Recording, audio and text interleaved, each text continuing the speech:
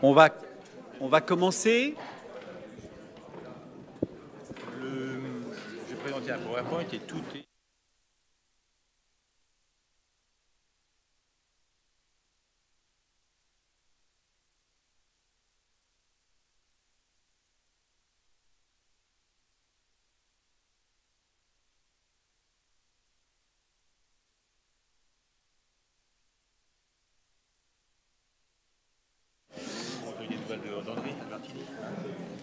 je vais- on va en parler.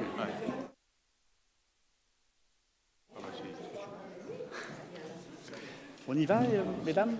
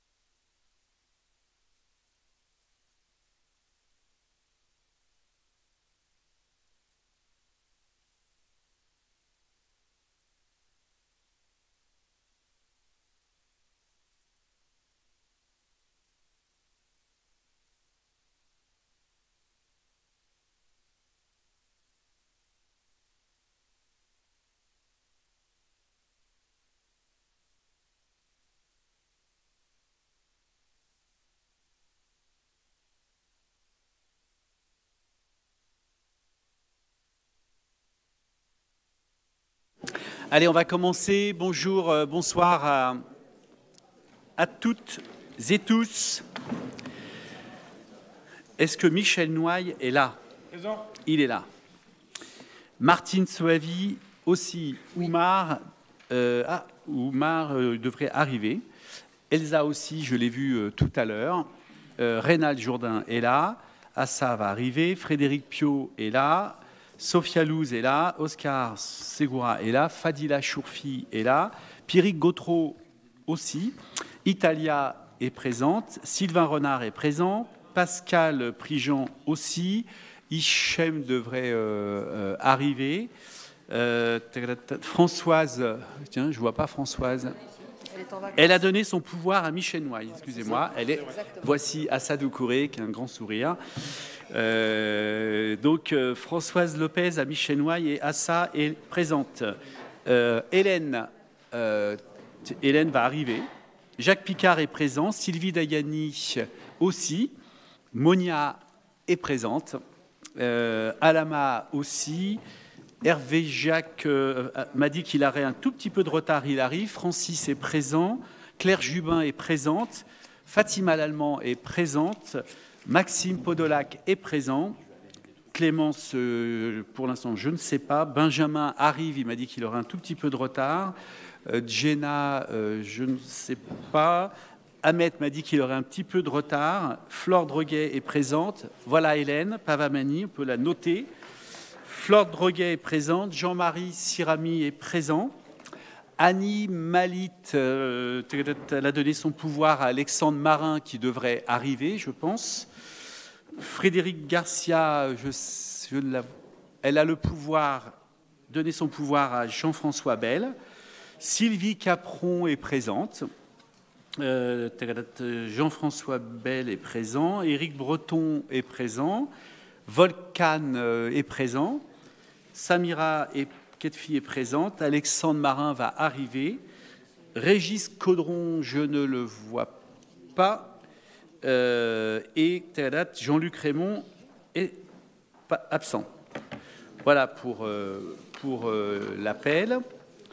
Pascal Prigent, tu feras une très bonne secrétaire de séance pour ce conseil municipal qui euh, devrait être un peu plus court que certains. Euh, voilà. Est-ce qu'il y a des remarques sur le, compte-rendu du conseil municipal? Je n'en vois pas. Généralement, l'opposition euh, s'abstient ou vote contre. Vous faites quoi? Qui s'abstient? L'opposition s'abstient, la majorité est pour. Voilà pour ces choses traditionnelles. Euh, et nous allons donc pouvoir euh, commencer ce conseil qui a Je préviens et je salue celles et ceux qui nous regardent, dans le public ou de chez eux. Cinq points à l'ordre du jour.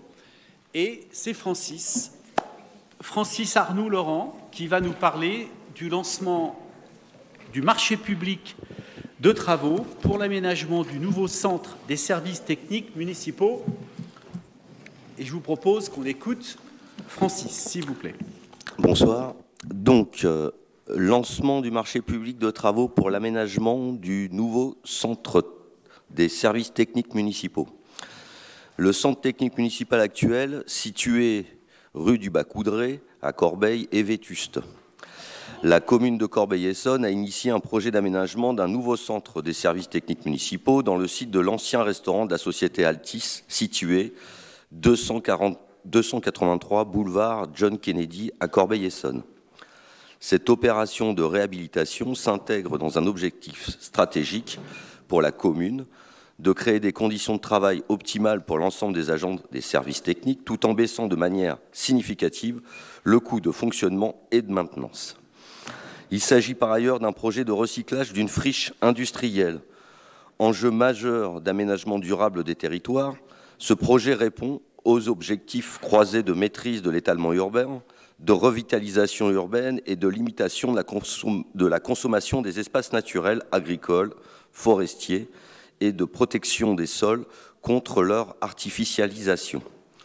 Compte, tenu du coût des travaux à réaliser, estimé à 4 363 000 euros hors taxes, une procédure adaptée doit être dès lors lancée.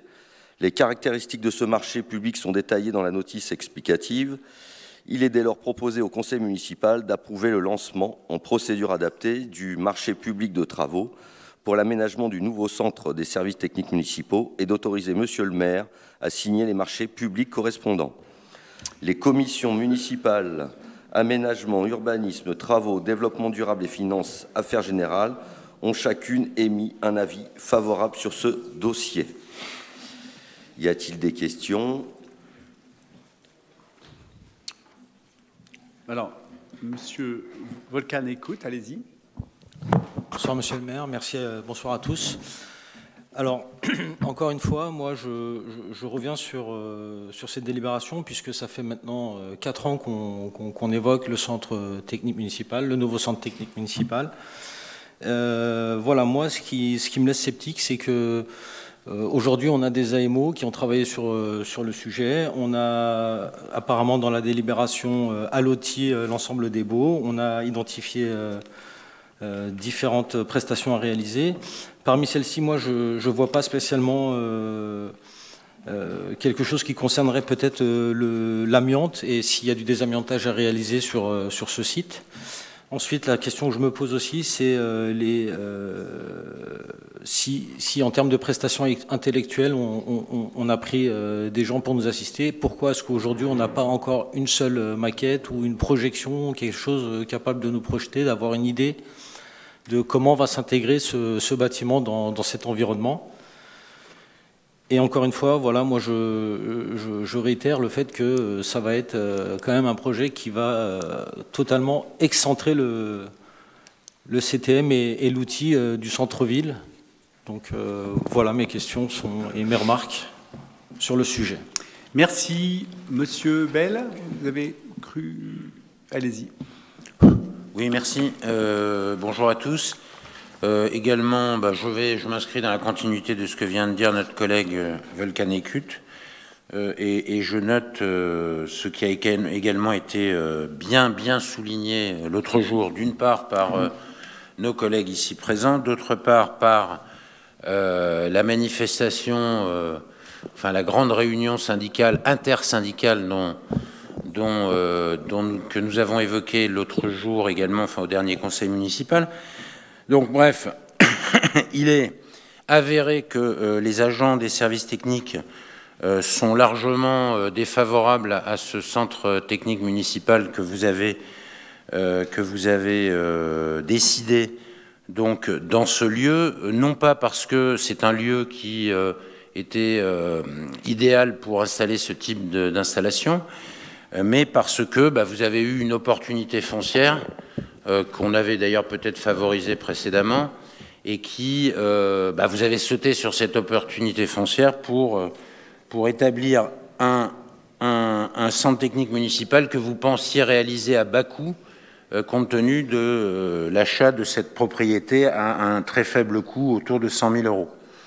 Pour, euh, euh, pour, pour, euh, pour, en faire donc un centre technique municipal qui normalement devrait être un service qui devrait être extrêmement central dans la ville pour permettre des déplacements aisés des agents, des véhicules et, et, une disponibilité favorable, optimale à la population. Non, vous n'avez pas décidé de faire cela alors qu'il y avait des possibilités vous avez décidé d'implanter ce centre technique municipal euh, au point le plus au sud de la ville, à l'endroit où il y a le moins besoin des services techniques, puisque c'est la, la partie municipale la moins dense de la ville, donc euh, celle qui nécessite le moins euh, de, finalement d'entretien et de et d'activités et municipales. Et cela pose des problèmes énormes aux agents municipaux qui vont, qui savent, qui sentent qui pressentent déjà que ça va leur poser d'énormes difficultés. Alors, ce qui apparaît le plus, euh, comment dire, le plus, euh, le plus impraticable euh, pour eux, c'est effectivement d'être à 4 km de, de, la cantine municipale, ce qui veut dire que tous les, pendant leur pause déjeuner, bah, ils vont devoir faire à minima, à minima, minimum, une demi-heure de trajet aller, une demi-heure de trajet retour. Ça, c'est dans l'hypothèse où la circulation est, flexible ces jours-là, mais elle est très souvent, et, je, le, constate moi-même euh, plusieurs fois par semaine, elle est souvent très dense dans ce secteur et très difficile. donc vous avez, vous avez, vous avez, vous avez fait, Monsieur le Maire, des gorges chaudes et vous n'en finissez pas d'en faire des gorges chaudes sur euh, la splendide, euh, les splendides assises du personnel que vous avez fait, euh, assises qui étaient censées récolter l'opinion du personnel, et je suis persuadé que vous l'avez d'ailleurs récolté, cette opinion, enfin pour ceux qui ont osé vous parler, et je doute que le résultat de ces assises ait été favorable à l'implantation de ce, de ce nouveau centre technique municipal. Si, si il n'y avait que cela, ce ne serait pas trop grave, mais on constate aussi qu'il euh, est probable que ce centre technique municipal tout neuf, tout beau, euh, enfin en tout cas ce que vous espérez euh, être un centre technique municipal adapté, tout neuf et tout beau, eh bien sera probablement trop petit et des bruits courts, puisqu'on est obligé de se référer au bruit, eh bien des bruits courts que vous seriez obligé d'installer dans d'autres parties de la ville euh, une, euh, enfin, des installations complémentaires pour pouvoir satisfaire aux besoins des services techniques. Donc on verra, on verra en tout cas.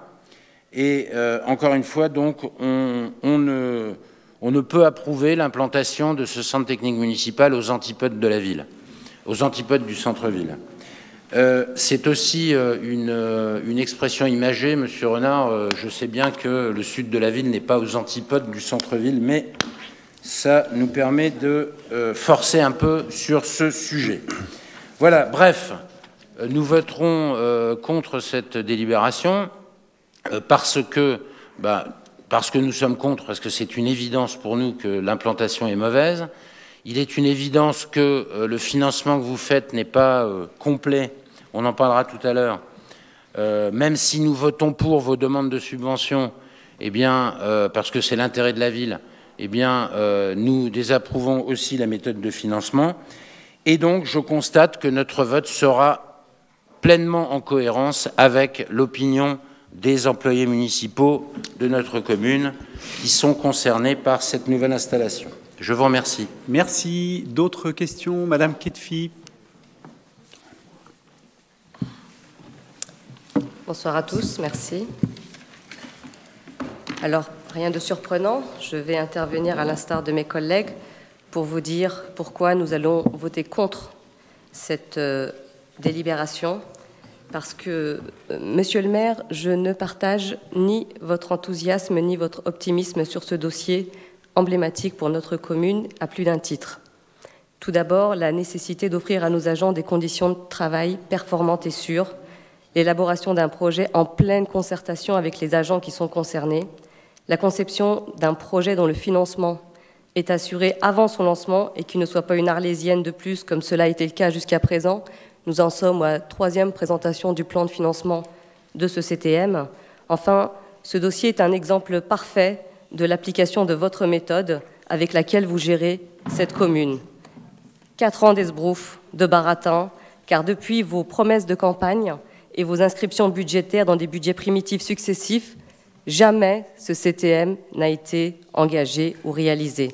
Ce CTM est devenu une chimère. Et soudainement, ce projet de délibération par lequel vous souhaitez lancer dans l'urgence des marchés de travaux pour un CTM, vous nous demandez de vous autoriser à engager plus de 5 millions d'euros de travaux nécessaires, selon vous, à la construction du CTM, sans nous détailler ce projet, sans plan de financement, sans maquette, sans plan, ni même une vue d'ensemble. Aucun dossier n'a été présenté dans ce conseil municipal.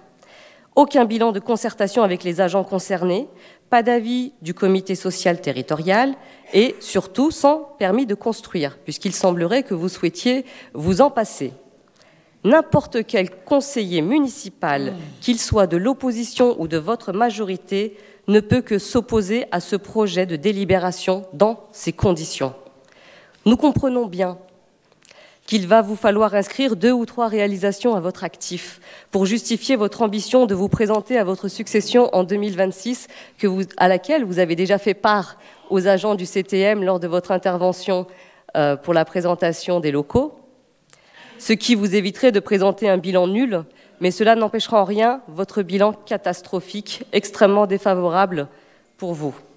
En effet, vous avez fait de votre choix en gagnant la mairie en 2020 dans des conditions électorales particulièrement exceptionnelles.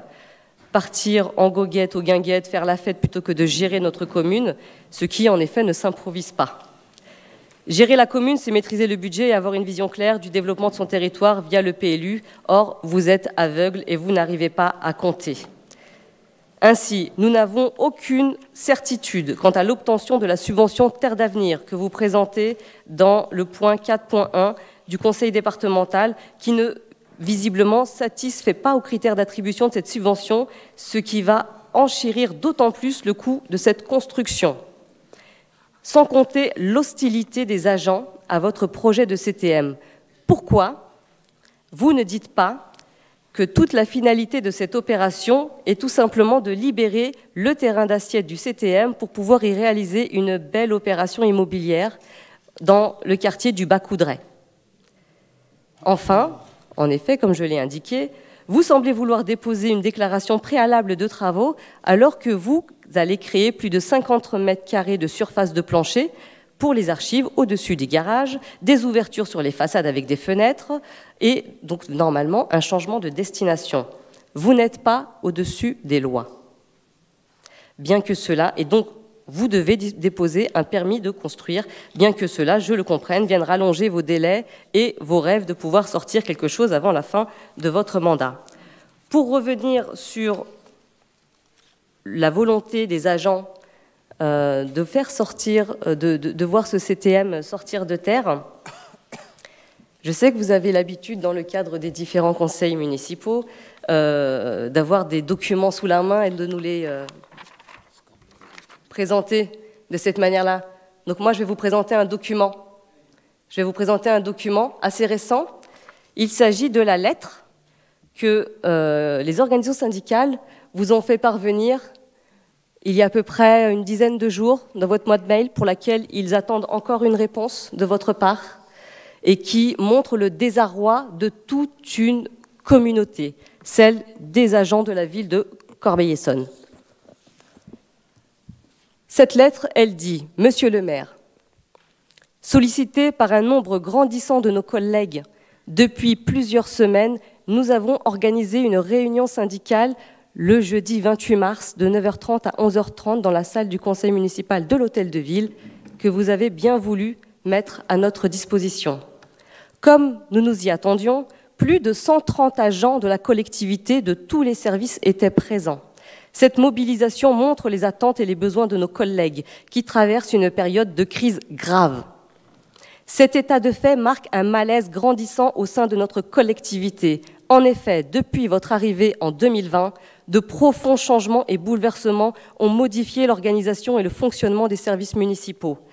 En tant que représentants du personnel, nous avons tenté d'accompagner au mieux ces mutations en essayant tant bien que mal d'instaurer un dialogue social avec votre majorité pour le bien-être des agents, de la population et de l'image de notre collectivité.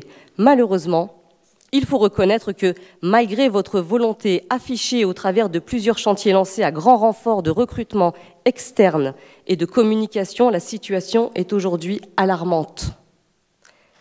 Cette réunion a confirmé un fort sentiment de mal-être et d'injustice chez les agents municipaux qui ont exprimé plusieurs revendications sur des thématiques majeures, dont vous trouverez une liste non exhaustive ci-dessous, qualité de vie au travail, manque de considération et de reconnaissance, évolution professionnelle, moyens humains et matériels insuffisants, rejet massif par les agents du CTM, par les agents du futur CTM, formation inadaptée et ou non reconnue, recrutement de cadres externes au détriment de la promotion interne, dialogue social dégradé, voire inexistant.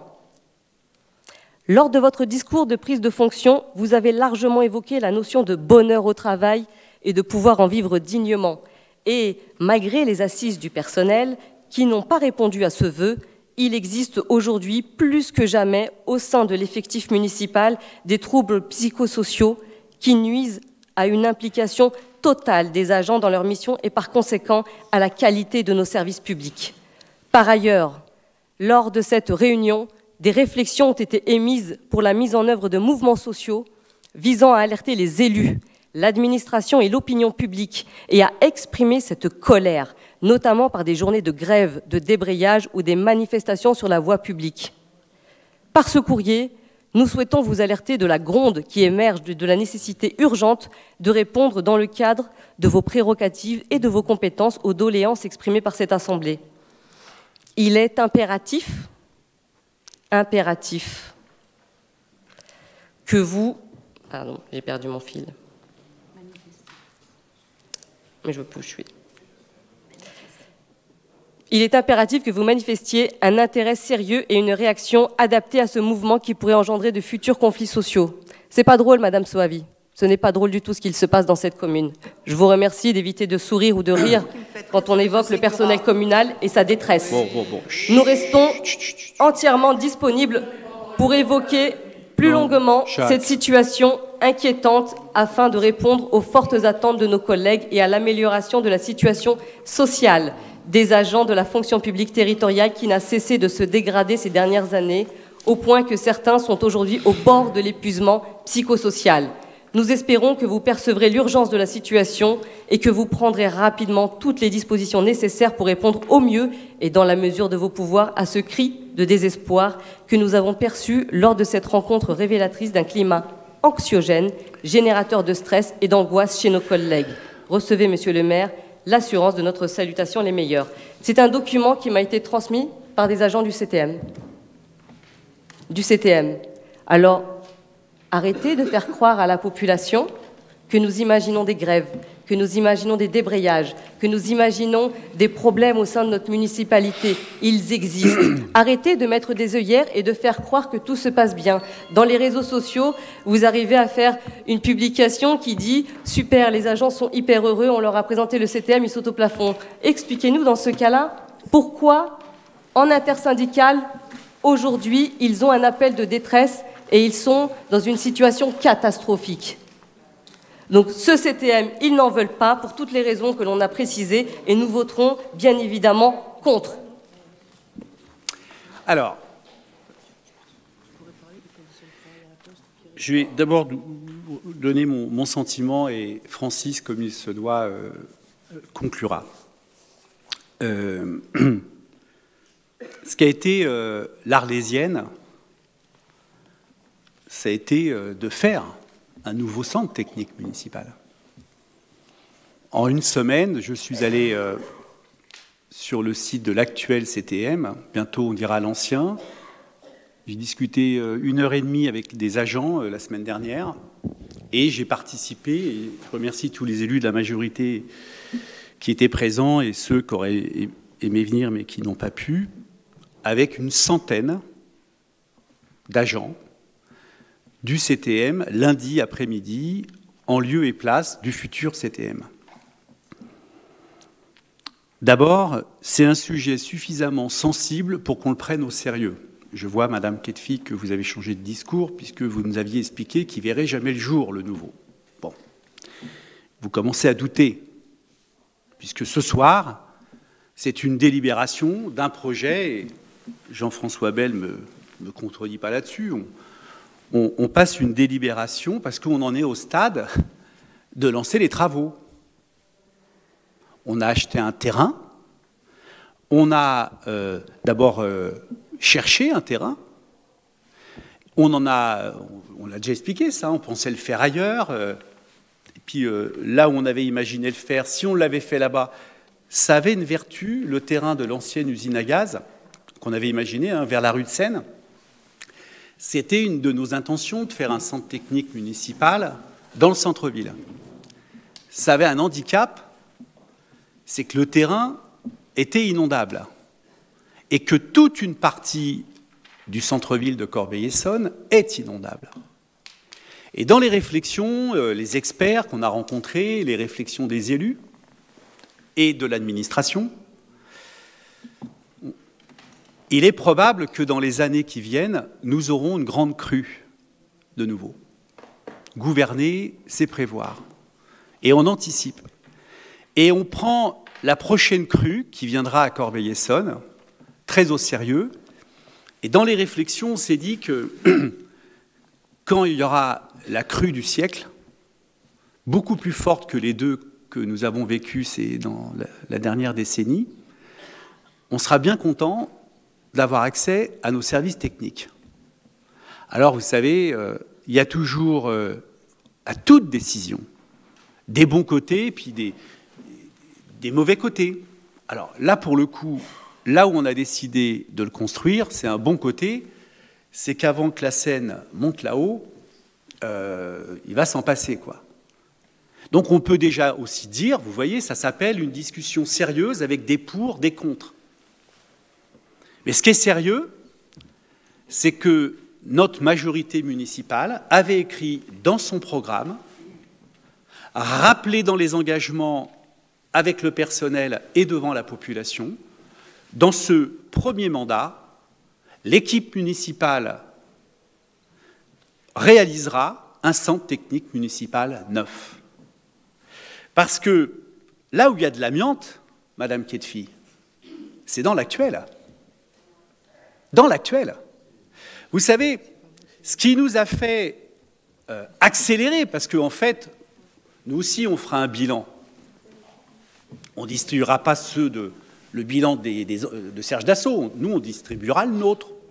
Vous aurez un beau document qui va montrer notre bilan.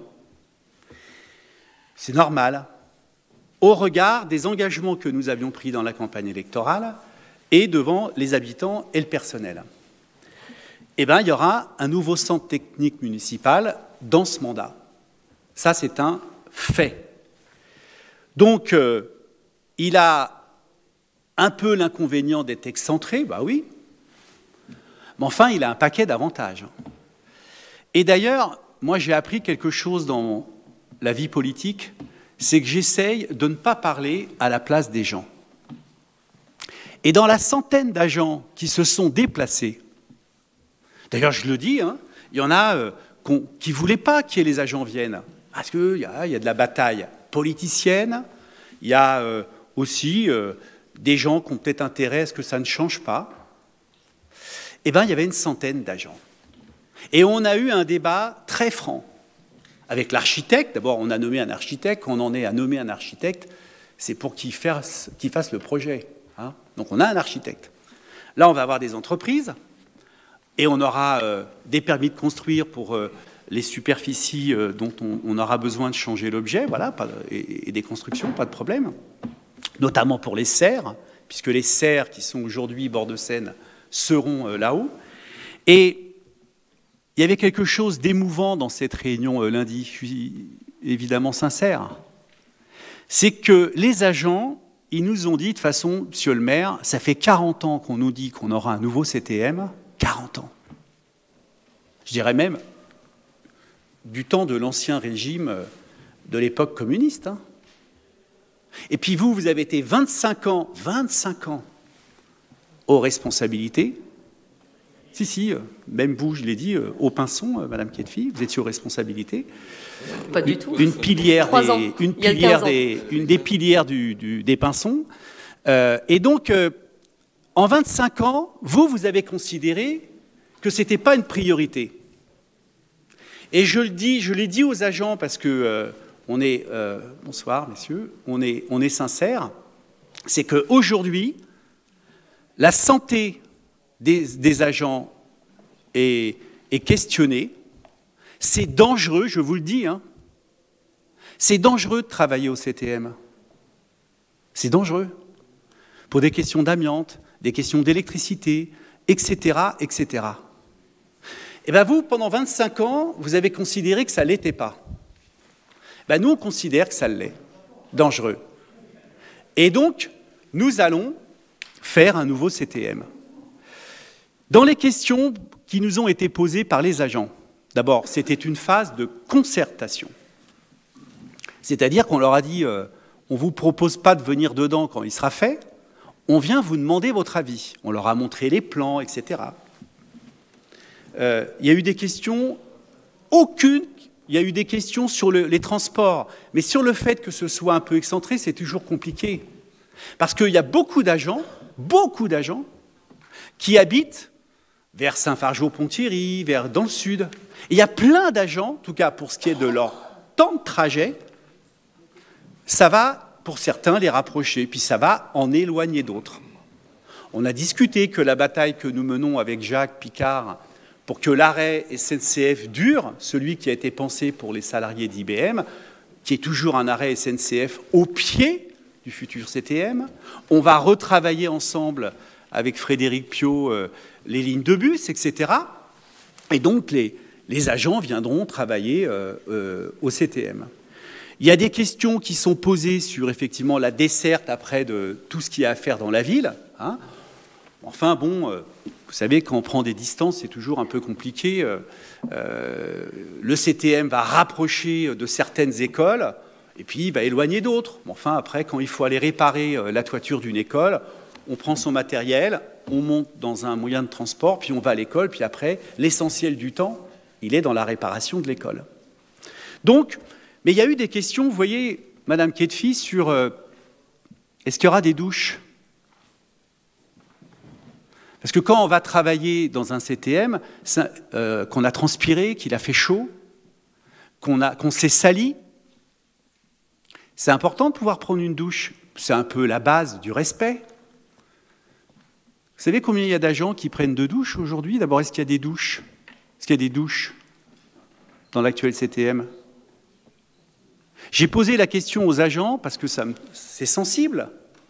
Sur la centaine d'agents, il y en a un qui a dit, parce y a quelques douches, aucune d'ailleurs euh, ne respecte des règles d'hygiène, d'intimité. D'accord? C'est ça l'actuel CTM. C'est dangereux, sale, il y a des rats. Depuis des années, les ordures que certains agents ramassent dans la ville et où les prestataires privés sont déposés dans la cour du CTM, ça c'est de ça dont on hérite, nous. C'est de ça dont on hérite. C'est de ça dont on hérite. À chaque fois, quelqu'un dans le public dit va nous faire chialer. Il y a de quoi chialer. Ceux qui rigolent au fond, je ne sais pas où vous travaillez, mais quand je vais au CTM, il y a de quoi chialer. J'ai honte d'être le maire de la 120e ville de France qui a des ateliers municipaux dans cet état. Et il y avait beaucoup d'émotions lundi. Parce qu'une fois qu'on est dans la place, qu'on se projette, qu'on discute, et les questions étaient sérieuses, ceux qui sont au service achat se demandent s'ils euh, euh, seront loin de tel atelier, ceux, je vous répète les questions, Madame Ketfi, des agents, parce que c'est de ça qu'ils ont parlé. L'Arlésienne, c'est pas nous, Nous, en 4 ans, 4-5 ans, on va le faire. Eux, ça fait 40 ans qu'ils attendent. Donc, voilà, le débat sensible, c'est que fin, fin d'année, euh, été, automne 2025, on ne va pas donner la date de l'inauguration, nous inaugurerons dans cette période un nouveau centre technique municipal pour à peu près 170 agents. Monsieur Bell pose des questions, je crois, plus sérieuses.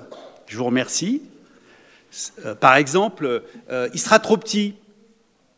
Eh bien, on répond parce que quand j'étais dans l'opposition avec Sylvain Dantu, euh, on avait dit avec Sylvain, mais vous savez, votre NCA, il va être trop petit. Il est trop petit. Celui que vous avez fait en PPP, vous venez nous parler du financement d'une autre. Hein. Le vôtre, c'est en PPP, on va se le payer combien de temps ce PPP euh, D'années 25 ans. 25 ans Donc pendant, dans 25 ans, on finira peut-être de payer le NCA qui est trop petit. Et trop petit, ce qui fait qu'on a des agents un peu partout dans la ville. Est-ce que c'est rationnel? Je ne refais pas l'histoire du Darblay. Hein. Le Darblay, il nous aura coûté des, dizaines et des dizaines de millions d'euros en location. En location, je ne refais pas l'histoire. Et nous, dans le mandat, dans le mandat, on en a fait une résidence d'étudiants. Et dans ce mandat, d'ailleurs je le dis là parce qu'il y a quelque chose, si on prend au sérieux la question de la transition écologique, on aura dans le mandat pris trois friches. Trois friches. Le Darblay, quand nous devenons élus, c'est une friche. Le restaurant d'IBM, c'est une friche. Et le siège d'EDF en face du NCA, c'est une friche. En cinq ans, nous aurons Remplacer la friche du Darblay en résidence d'étudiants, c'est un acte. Allez dire à la plus de centaines d'étudiants qui sont mal logés, je vous souhaite du plaisir, d'accord? Vous irez expliquer aux agents dans un an qui sont mal dans un lieu tout propre, tout neuf, digne. Vous irez leur dire, pour l'instant, eux, ils nous disent qu'ils commencent à y croire et qu'il n'y a pas photo entre là où ils travailleront dans un an et aujourd'hui. Et puis, allez dire aux agents de la mission locale qu'il serait mieux de rester dans des préfabriqués sur les terrains d'Hélio que là où nous allons vous inviter, la date de l'inauguration le 30 mai. Le 30 mai, nous vous invitons, les Corbeillers saunois, à l'inauguration de la nouvelle, on l'appelle plus comme ça, mission locale, maison de NDEF de l'emploi et de la formation, avec l'agglomération Grand Paris Sud, nous allons inaugurer le 30 mai une très très belle mission locale avec encore quelques logements étudiants dessus. Comme votre NCA était trop petit, on y met des services de la direction de l'éducation. Et donc on commence à faire une petite cité administrative avec la mission locale, la direction de l'éducation, quelques logements et le NCA.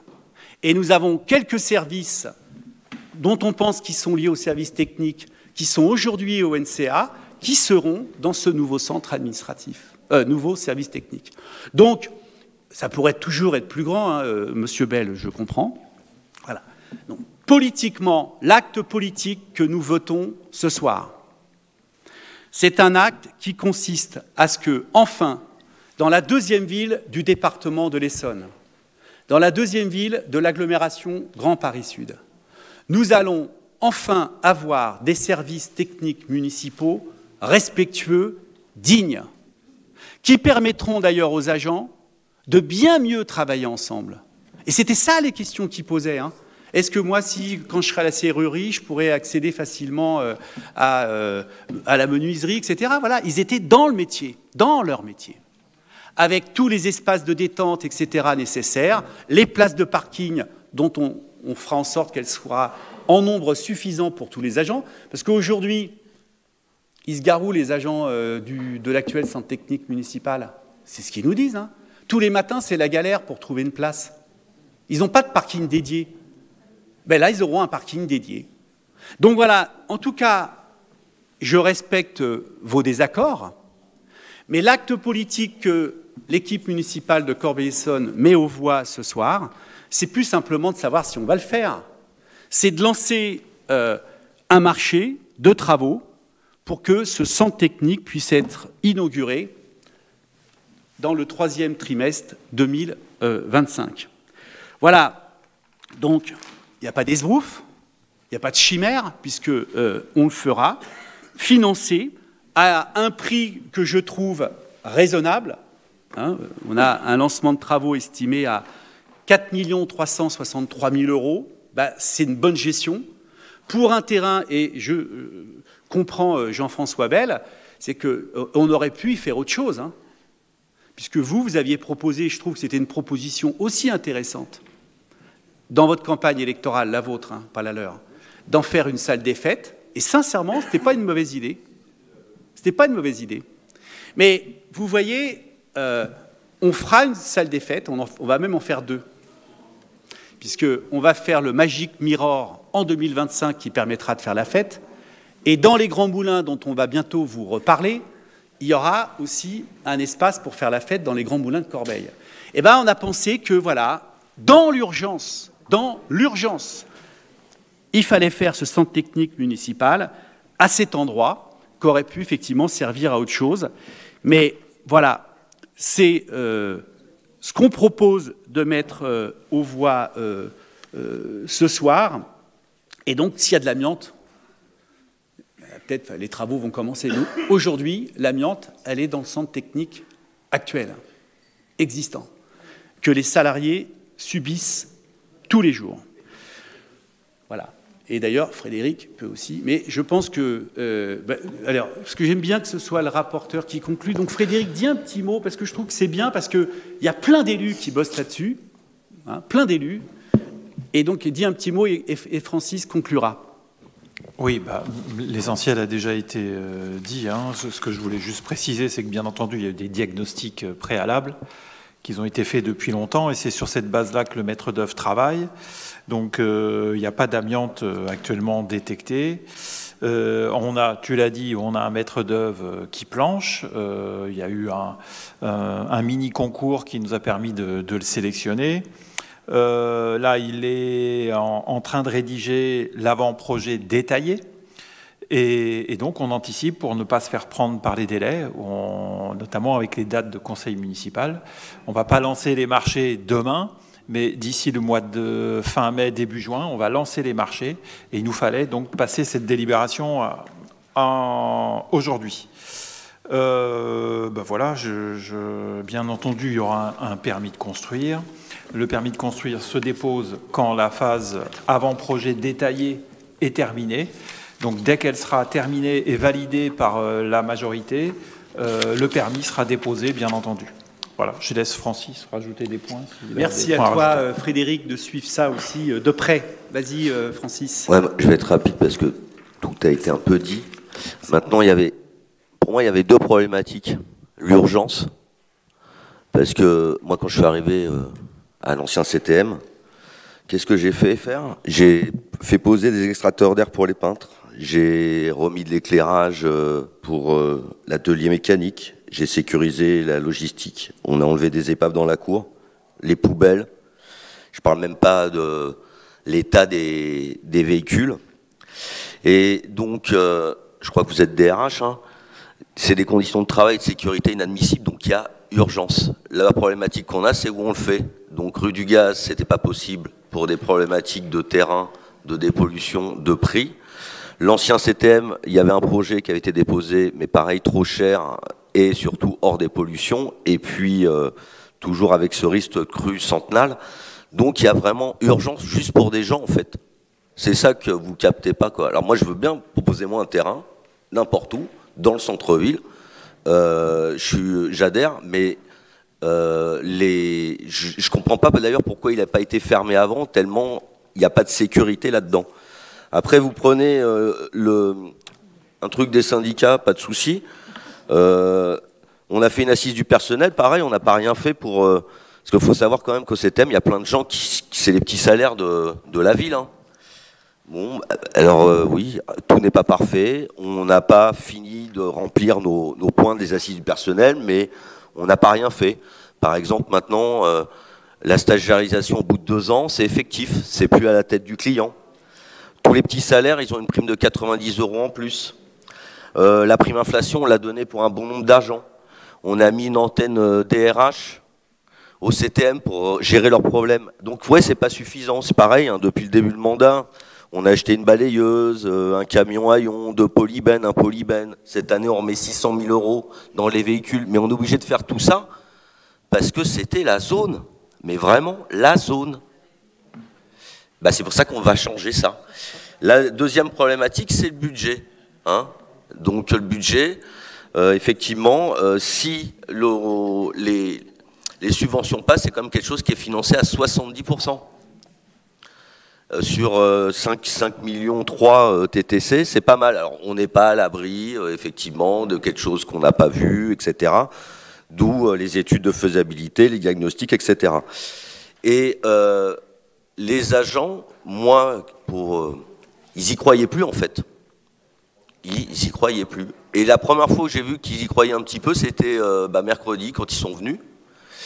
Et puis, ce que m'a dit l'agent de sécurité qui est tout le temps là-bas, c'est que euh, depuis, euh, non, c'était quand c'était euh, lundi, bah, depuis lundi, il y a des agents qui viennent spontanément revisiter, s'intéresser, parce que là, ils commencent à se dire, c'est de l'ordre du possible. Alors, ouais, quand on choisit un terrain, il y a toujours des avantages et des inconvénients. on, y a, on y a réfléchi là-dessus. Maintenant, on garde quand même la STE qui est de la Port Paris, qui permet de satelliser. Et puis il faut savoir que déjà, avec le CTM actuel, il y a du stockage euh, de voiries, euh, boulevard euh, Kennedy, etc. Donc on avait déjà fait commencer une pré-concertation, mais là on est en train de la finir pour justement passer de l'avant-projet sommaire à, l'avant-projet détaillé.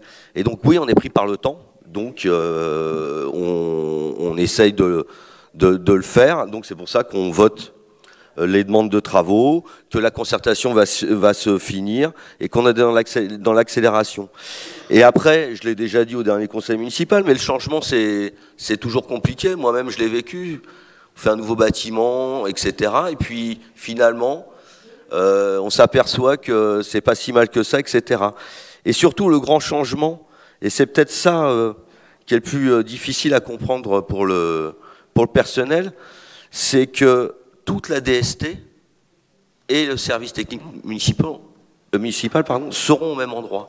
Ça veut dire qu'il y a un demi-étage du NCA qui va se libérer. Alors comme déjà il était prêt à imploser en manque de bureaux, ça va permettre de libérer de la place au NCA pour rapatrier euh, des services qui sont euh, excentrés dans la ville.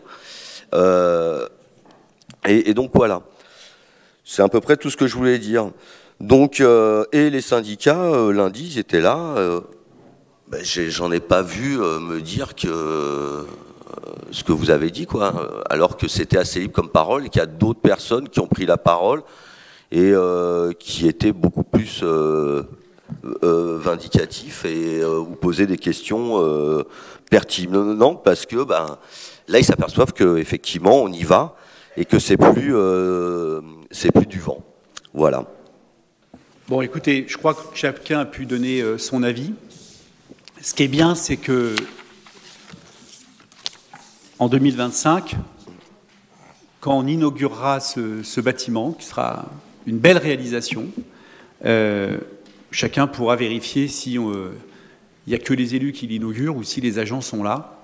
D'ailleurs, agents, je le redis, parce que à qui on a réaffirmé qu'on donnera à une salle ou à un des ateliers le nom de, Thierry Vincent qui est, décédé euh, il, y a, quelques semaines. Donc je dis ça parce que vous voyez, il y a les élus qui bossent. Hein. Être élu, c'est un engagement. Et puis, euh, tous les élus bossent beaucoup ici. Beaucoup. Je crois que s'il y a quelque chose, euh, je dirais même d'un point de vue de notre santé, en cas je pour la mienne, on me dit même de travailler un peu moins. Vous voyez, c'est sensible aussi ça. Mais moi, ce que je pense, c'est que sans les agents, Il n'y a pas de collectivité territoriale. Ça ne fonctionne pas. Et donc, euh, euh, on, sera très fiers, je crois, dans quelques mois, les uns et les autres, d'avoir été, l'équipe municipale qui aura permis à euh, allez, 200, un peu moins de 200 agents de travailler dans des conditions dignes et respectables. on verra le moment venu. Je ne parle pas en leur nom. Pour l'instant, on vote des travaux. Donc, qui s'abstient? Qui est contre? L'opposition municipale est contre. Qui est pour La majorité municipale. C'est un vote important. Je finirai en petite pensée pour Jacques Picard, que tu étais là lundi. Il dit, ah, c'est bien, euh, voilà, il y avait beaucoup d'élus, et tu m'as fait remarquer que ce n'était pas anodin, cet acte politique, nous qui avons distribué des tracts pendant 30 ans dans l'ancien centre technique municipal, eh bien, euh, on sentait que c'était un moment important. Voilà. Merci euh, pour ce débat. Le vote a eu lieu. Et on va parler d'une autre délibération très importante et c'est Michel Noailles qui va nous la présenter. Oui, bonsoir à vous. Effectivement, je pense, nous pensons que c'est une deuxième délibération ce soir très importante qui illustre notre capacité à gérer la commune. Je reprends le terme qui a été utilisé tout à l'heure, à gérer la commune. Et deuxièmement, qui illustre le fait que dans des conditions budgétaires difficiles pour les collectivités territoriales, il suffit de faire référence à la lettre presque quotidienne de l'Association des maires de France, eh bien dans des conditions budgétaires difficiles pour les collectivités territoriales, nous euh, continuons à, confirmer notre projet politique d'une ville solidaire, euh, éducative, euh, écologique et fraternelle. Donc de quoi allons-nous parler ce soir? Eh bien de la refonte de la politique tarifaire pour les prestations municipales en matière éducative, culturelle, sportive et de loisirs. Bon, rapidement, je reviendrai sur le sens que nous donnons à cette délibération, sur les objectifs que nous allons poursuivre, les principes d'une politique tarifaire qui s'impose à toute collectivité, le diagnostic de la politique tarifaire actuelle, la nouvelle politique tarifaire que nous proposons dans cette délibération. Nous comparerons euh, la précédente politique tarifaire et la nouvelle. Nous donnerons trois exemples de trois types de familles aux ressources différentes, et nous conclurons. Donc oui, c'est une délibération politique majeure pour une faire de, de Corbeil-Essonne une ville solidaire, éducative, écologique et fraternelle. En effet, c'est une délibération globale qui concerne l'ensemble des prestations municipales, les tarifs de l'ensemble des prestations municipales, éducatives, sportives, culturelles et de loisirs. La dernière, elle concerne donc un grand nombre d'enfants et de jeunes. Rien que pour les activités périscolaires, ça concerne près de 7000 enfants, et donc un grand nombre de familles. C'est donc une délibération qui va avoir un écho dans la ville, évidemment, et qui. C'est troisièmement une délibération, la dernière délibération globale, identique à celle de ce soir, datait de 1994, 30 ans. Bien sûr, depuis 30 ans, il y a eu des ajustements partiels, mais ces ajustements partiels sur les tarifs de la restauration scolaire ou des accueils de loisirs ou de l'étude, tous ces et ainsi de suite, tous ces ajustements partiels ont eu pour effet d'accentuer l'hétérogénéité de la politique tarifaire municipale. Et bien sûr, depuis 1994, eh bien, les caractéristiques sociologiques, économiques socio-économique des habitants ont évolué. Donc oui, c'est une délibération importante qui a été euh, travaillée pendant un an, un an, par un comité de pilotage dans lequel il y avait des élus, donc les élus du scolaire, de l'éducation, du social, de la jeunesse, du sport, de la culture, du handicap, et puis des administrations correspondantes évidemment à ces délégations. Ce comité de pilotage s'est réuni plus de cinq fois. Et il y a eu des étapes, des points d'étape en majorité municipale pour euh, construire collectivement, ajuster ce que, faisait ce que proposait le comité de pilotage. Et il y a eu simultanément un comité technique composé des agents des différents services concernés. Nous avons été accompagnés pour cela par un cabinet d'études, Citexia, et le pilotage et la coordination de tout ce travail sur un an, qui a donc euh, impliqué un grand nombre de services, un grand nombre d'élus, un grand nombre de personnes, eh bien, ce pilotage a été assuré par la direction de la direction des affaires scolaires de l'enfance et de la petite enfance, sa directrice, que je tiens vraiment très sincèrement à euh, remercier parce qu'elle y a contribué évidemment à cette délibération, mais elle a assuré jusqu'à il y a quelques heures encore la coordination de ce travail. Donc je voudrais vraiment remercier la contribution de la directrice de l'ADAZEP. Alors, ceci étant dit, les objectifs de la nouvelle politique tarifaire. Euh, nous avions les objectifs suivants. Mieux prendre en compte les nouvelles réalités sociales et familiales des habitants de Corbeil-Essonnes. Hein, entre 1994 et 2024, 30 ans se sont écoulés, autant d'évolutions. Favoriser l'égalité d'accès aux activités, quelle que soit la situation sociale et familiale de l'usager. C'est l'engagement que nous prenons, que nous avons pris en 2020 et que nous essayons de concrétiser au quotidien. Toutes les activités municipales doivent pouvoir être accessibles à tous les enfants et les jeunes, quelles que soient les ressources de leur famille. Garantir une progression tarifaire équitable en fonction des ressources des usagers, en abandonnant, nous y reviendrons, le système par tranche qui crée des effets de seuil douloureusement vécus par un grand nombre d'habitants, d'usagers et un grand nombre d'entre nous lorsque nous sommes amenés à des fois payer euh, des impôts et des taxes. Répondre aux enjeux d'équité par l'application d'un taux d'effort qui se substitue aux tranches, nous y reviendrons. Harmoniser les niveaux de participation des usagers sur les prestations proposées. Ça veut dire quoi? Ça veut dire que selon que l'enfant allait, le même enfant allait à la pause méridienne ou au centre de loisirs ou à l'étude, eh bien, les, pourcentages de participation, le niveau de participation euh, de la famille de cet enfant était différent selon les activités. Et cette hétérogénéité s'était accentuée, évidemment, au fil des années d'ajustement.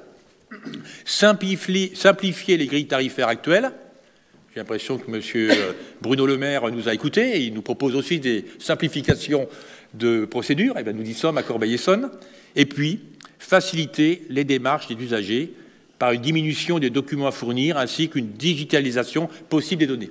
Voilà les objectifs que nous nous étions donnés il y a un an lorsque nous avons engagé le travail. Je voudrais juste faire un petit euh, euh, couplet, on va dire, sur les principes qui fondent toute politique tarifaire. Une ville une ville, par son budget, apporte deux contributions différentes et complémentaires aux activités qu'elle propose. Une subvention générale pour tous les usagers et une subvention personnalisée en fonction de la situation sociale des usagers. Ce qui veut dire quoi? Ce qui veut dire que la contribution des usagers ne suffit pas, évidemment, en termes de recettes, pour qu'on réponde aux dépenses de l'activité. La ville contribue toujours en plus de ses subventions personnalisées. Premier point. Et deuxième point, un, euh, un système tarifaire associe le calcul des ressources des usagers, d'une part, et une grille tarifaire progressive, d'autre part. La question qui est posée en permanence, c'est quelle prise en compte des ressources et, deuxièmement, quelle grille tarifaire quatre composantes d'une grille tarifaire sur laquelle nous avons travaillé pendant un an. Première composante, c'est à quel pourcentage la ville décide-t-elle de subventionner les activités? Est-ce que c'est totalement gratuit? Est-ce que la ville contribue à un certain pourcentage? Évidemment que c'est une question euh, sur laquelle on doit décider. Deuxième composante, c'est le tarif de base de chaque activité. Le tarif de base, par exemple, de la pause méridienne, c'est 10,80 euros. Le tarif de base, ce n'est pas totalement le coût que ça, représente. C'est une estimation du coût du service dans un objectif d'harmonisation tarifaire et dans un objectif d'accessibilité. et non un recalcul du coût complet du service. Il s'agit d'un tarif forfaitaire équivalent au plus, mais c'est rarement le cas, jamais le cas, au coût du service. Donc, le tarif de base de chaque activité. Pour l'instant, pause méridienne, qui inclut le repas, c'est 10,80 euros. Troisième composante d'une grille tarifaire sur laquelle il faut décider, c'est les bornes, la borne minimum, la borne maximum, qui vont déterminer toutes les deux l'amplitude des tarifs. Prenons l'exemple de la pause méridienne toujours. Je prends cet exemple parce que ça concerne plus de 4200 enfants aujourd'hui. Eh bien, la borne minimum sur la pause méridienne, le tarif minimum demandé, c'était 1,10 euro, c'est 1,10 euro pour l'instant, et la borne maximum, c'est 3,70 euros, ce qui représente une amplitude de 1 à 3,3. Bah, évidemment que cette amplitude-là ne correspond pas à l'amplitude des ressources des familles. L'amplitude des familles dont les enfants fréquentent la pause méridienne est beaucoup plus importante que de 1 à 3. Donc évidemment qu'il a fallu réfléchir à quelle amplitude donne-t-on, où situer les bornes minimum et maximum. Et puis dernier point d'une grille tarifaire, c'est la progressivité entre les deux bornes. Est-ce que cette progressivité, elle se fait par tranche, avec immédiatement pour conséquence des effets de seuil, injustes, difficiles à comprendre. Actuellement, il y a sept tranches. Ou est-ce que c'est une progressivité progressive, linéaire, proportionnelle aux ressources des familles? Donc autant de questions que nous nous sommes posées pendant quatre ans, pendant un an, pour aboutir à la délibération de ce soir. Nous avons également procédé à un diagnostic important de la politique tarifaire actuelle. Euh, en donc nous avons retravaillé sur les caractéristiques socio-économiques des habitants et en particulier des familles qui fréquentent les activités municipales. Bien sûr, nous avons confirmé, le diagnostic nous a confirmé que la population de Corbeil-Essonne est d'un niveau de richesse inférieur à celui constaté au niveau national à celui constaté dans l'Essonne et à celui constaté au sein de Grand Paris Sud. Donc évidemment c'est une considération importante au regard de notre projet de ville solidaire. Le taux de pauvreté en France est estimé à 14%, il est à plus de 30% à Corbeil-Essonne.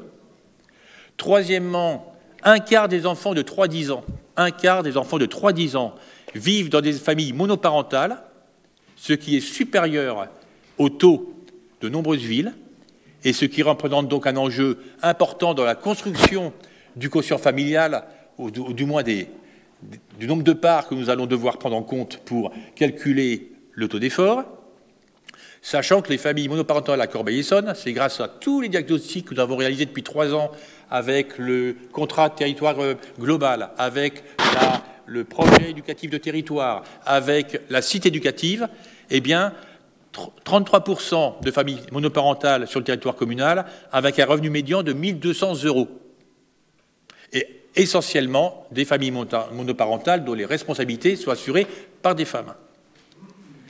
Les enfants de 3 à 11 ans sont majoritairement dans des familles dont le référent fiscal a entre 30 et 49 ans, et cette tranche-là correspond aux deux taux de pauvreté le plus élevé de la ville. Donc vous voyez des questions très importante posée pendant un an au sein du comité de pilotage, au sein des comités techniques, pour aboutir à la délibération. Diagnostic sur la structuration de la politique tarifaire de la ville et ses effets sur les usagers. Actuellement, le, système tarifaire associe le calcul des ressources et une grille tarifaire progressive avec sept tranches, en fonction du quotient familial.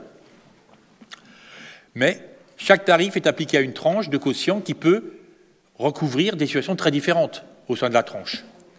Par ailleurs, je l'ai déjà dit, ce système de tranche présente l'inconvénient majeur d'imposer des effets de seuil. Donc, des euh, quotients traduisent des situations de revenus et de composition familiale très proches. Et les deux bornes mini et maxi, elles sont assez bien situées actuellement au regard de la sociologie de la ville, en particulier pour les bornes minimum donc pour les familles aux revenus modestes, ce qui n'est pas le cas forcément pour le reste. Donc, nous avons élaboré ce diagnostic de la politique tarifaire en également comparant cette politique tarifaire actuelle avec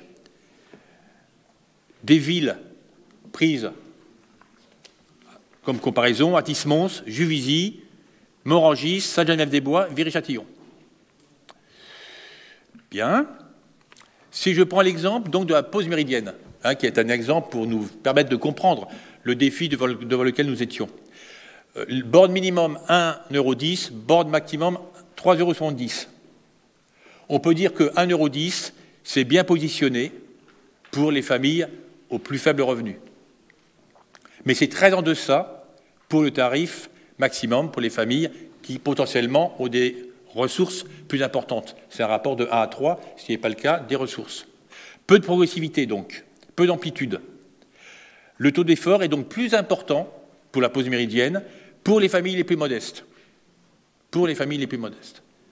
Et le tarif maximum est bas, très bas, lorsqu'on compare, en valeur absolue déjà, et quand on compare aux villes prises comme référence.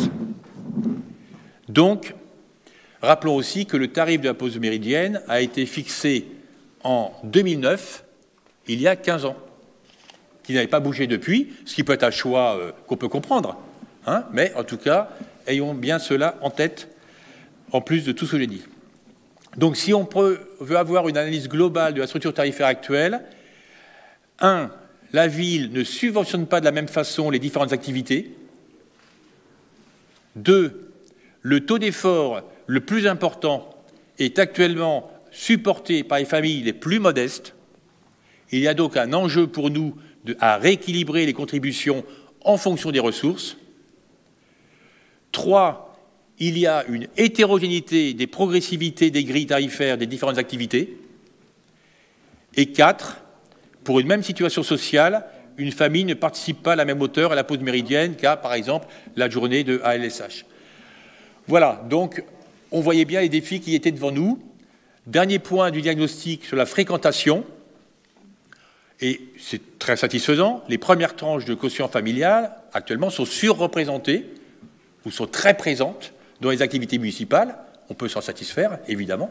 On voit bien là l'effet d'une politique euh, sociale, solidaire. 17% des usagers sont au tarif maximum, mais ça, il faut les analyser, parce que parmi les 17%, certains ménages ont des revenus qui justifient d'être dans le tarif maximum, mais nous savons bien qu'il y a des ménages qui sont éloignés des institutions, des démarches administratives, du numérique, qui ne font pas les démarches et qui se retrouvent placés dans le tarif maximum, il y a des ménages qui ne font pas calculer leur quotient familial au regard du peu de fréquentation des services. Donc, ces 17% sont très trompeurs. Il faut évidemment euh, retravailler cela, ce que nous avons fait.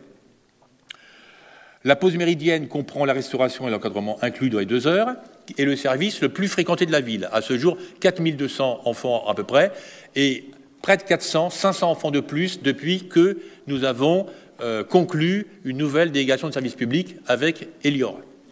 Peut-être aussi avec les améliorations quotidiennes, c'est jamais suffisant, que nous essayons d'apporter autant de pauses méridiennes au-delà de la restauration. Et ce que l'on constate dans la fréquentation, c'est que nous remarquons les mêmes caractéristiques sociologiques de la participation aux différentes activités et c'est-à-dire qu'on retrouve à peu près le même pourcentage de familles au quotient de tranche 1, tranche 2, tranche 3, tranche 4 et ainsi de suite, quelles que soient les activités. C'est une participation relativement homogène. Surreprésentation malgré tout des deux premières tranches et une fréquentation des études, ça c'est intéressant pour nous, une fréquentation des études plus importante pour les familles les moins aisées. Le souci là des familles que leurs enfants puissent, à la sortie de l'école, trouver des conditions satisfaisantes pour euh, faire leurs devoirs. Euh, et donc, euh, souci pour nous pour toujours améliorer les études. Voilà, là vous avez le document sous les yeux également, vous avez les chiffres de fréquentation des différents services voilà, en conclusion, de ce diagnostic. Faible amplitude des services, des tarifs, qui fait que le taux d'effort est inégalement réparti, le plus important pour les familles à faible revenu. Existence de cette tranche de quotient qui entraîne des effets de seuil. Donc nous avons un double objectif d'équité pour essayer de corriger cette première réalité. Deuxième réalité, les activités ont des niveaux de subventionnement de la ville différents. Et pour une même famille, l'effort consenti n'est pas le même selon les différentes activités. Enjeu pour nous, double objectif de cohérence et de visibilité. Et troisième remarque, en conclusion, simplifier les prises en compte des ressources, simplifier les démarches administratives, donc un enjeu de simplicité, de simplification des démarches en ayant toujours l'exigence d'assurer le recours aux droits systématiques pour les familles les plus modestes, le recours au droit d'accéder à tous les services municipaux, et en particulier en ayant un souci particulier en direction des familles monoparentales. Voilà donc les objectifs euh, du travail mené à partir du diagnostic, je vous les ai cités en début d'intervention. Donc la nouvelle politique tarifaire, ça sera ma conclusion évidemment. Il est proposé donc au Conseil municipal de fonder la nouvelle politique tarifaire de la ville sur la, construction d'un nouveau référentiel qu'on appelle les ressources mobilisables par part en remplacement du quotient familial et d'autre part par le calcul d'un taux de participation individualisé. Je vais y revenir. Il est également proposé dans la délibération que dans le cadre de grille tarifaire qui en découlera, la participation générale de la commune corresponde à 50% du tarif de base fixé pour toutes les activités.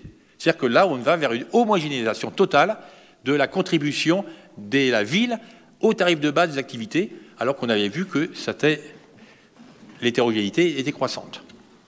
Ce qui veut dire, par exemple, hein, que le tarif de base de restauration est de 10,80, la pause méridienne est de 10,80, et donc le tarif maximum pour les usagers sera de 5,40. Voilà. Donc, je reviendrai, si vous le souhaitez, sur le calcul du revenu mobilisable par part, mais nous nous sommes appuyés sur, euh, évidemment, euh, les euh, façons de faire de la CAF, hein, les pratiques de la caisse d'allocation familiale. Donc, j'y reviendrai si vous avez des questions à me poser là-dessus. également sur le taux de participation individualisé. Ce qui est important, c'est qu'il n'y a plus de tranches. Donc, chaque famille aura un taux de participation individualisé qui sera unique pour la famille et qui s'appliquera sur tous les services de la ville. Bien, le taux de participation individualisé évoluera linéairement entre le taux de base, la borne minimum et la borne maximum, donc il n'y a plus d'effet de seuil progression équitable et linéaire. Le calcul du taux individualisé s'effectuera chaque année. Voilà. Donc, nous y reviendrons si vous avez des questions à poser sur les questions des calculs, les techniques. Ensuite, encore deux points. Vers une simplification des démarches des familles. Le dernier volet de cette délibération porte sur la simplification des démarches et, et la diminution des documents à fournir pour calculer son ressources mobilisables par part et calculer leur TPI via le portail famille. Et dans le prolongement, la commune souhaite s'appuyer sur les documents de la Direction générale des finances publiques qui permettra à l'usager de récupérer via le portail famille son revenu fiscal et le nombre de personnes à charge du foyer. Nous ne changeons pas le, euh, euh, comment dire, le calcul du nombre de personnes à charge du foyer de la politique actuelle. Nous prenons les mêmes, les mêmes délibérations. Enfin, vous l'avez dans la délibération qui est sous vos yeux, 12, euh, nous avons étudié 11 euh, situations particulières, hein, et donc nous avons euh, répondu à ces 11 situations. Je pourrais également répondre à vos questions, mais vous avez sous les yeux, dans le document de la notice explicative, vous avez le détail des 11 solutions qui veulent évidemment s'adapter au plus près aux situations des euh, familles. Voilà. Comparaison entre le précédent et le nouveau système de calcul des ressources. Bon, je pense que je suis revenu dessus S'il y avait des questions, j'y reviendrai. Je donne trois exemples pour terminer. Euh, famille monoparentale avec deux enfants ayant des revenus au niveau du RSA, vous avez à gauche, dans votre, euh, sous les yeux dans le document écrit, le système jusqu'à aujourd'hui et à droite le système de demain, avec un exemple de tarif d'évolution, évidemment. Donc euh, vous pourrez me poser des questions si vous le souhaitez. Euh, prenons la restauration scolaire, pour l'instant, pour ceux qui avaient le RSA, qui ont le RSA, il est à 0,20 centimes. Il passera à 0,60. Voilà.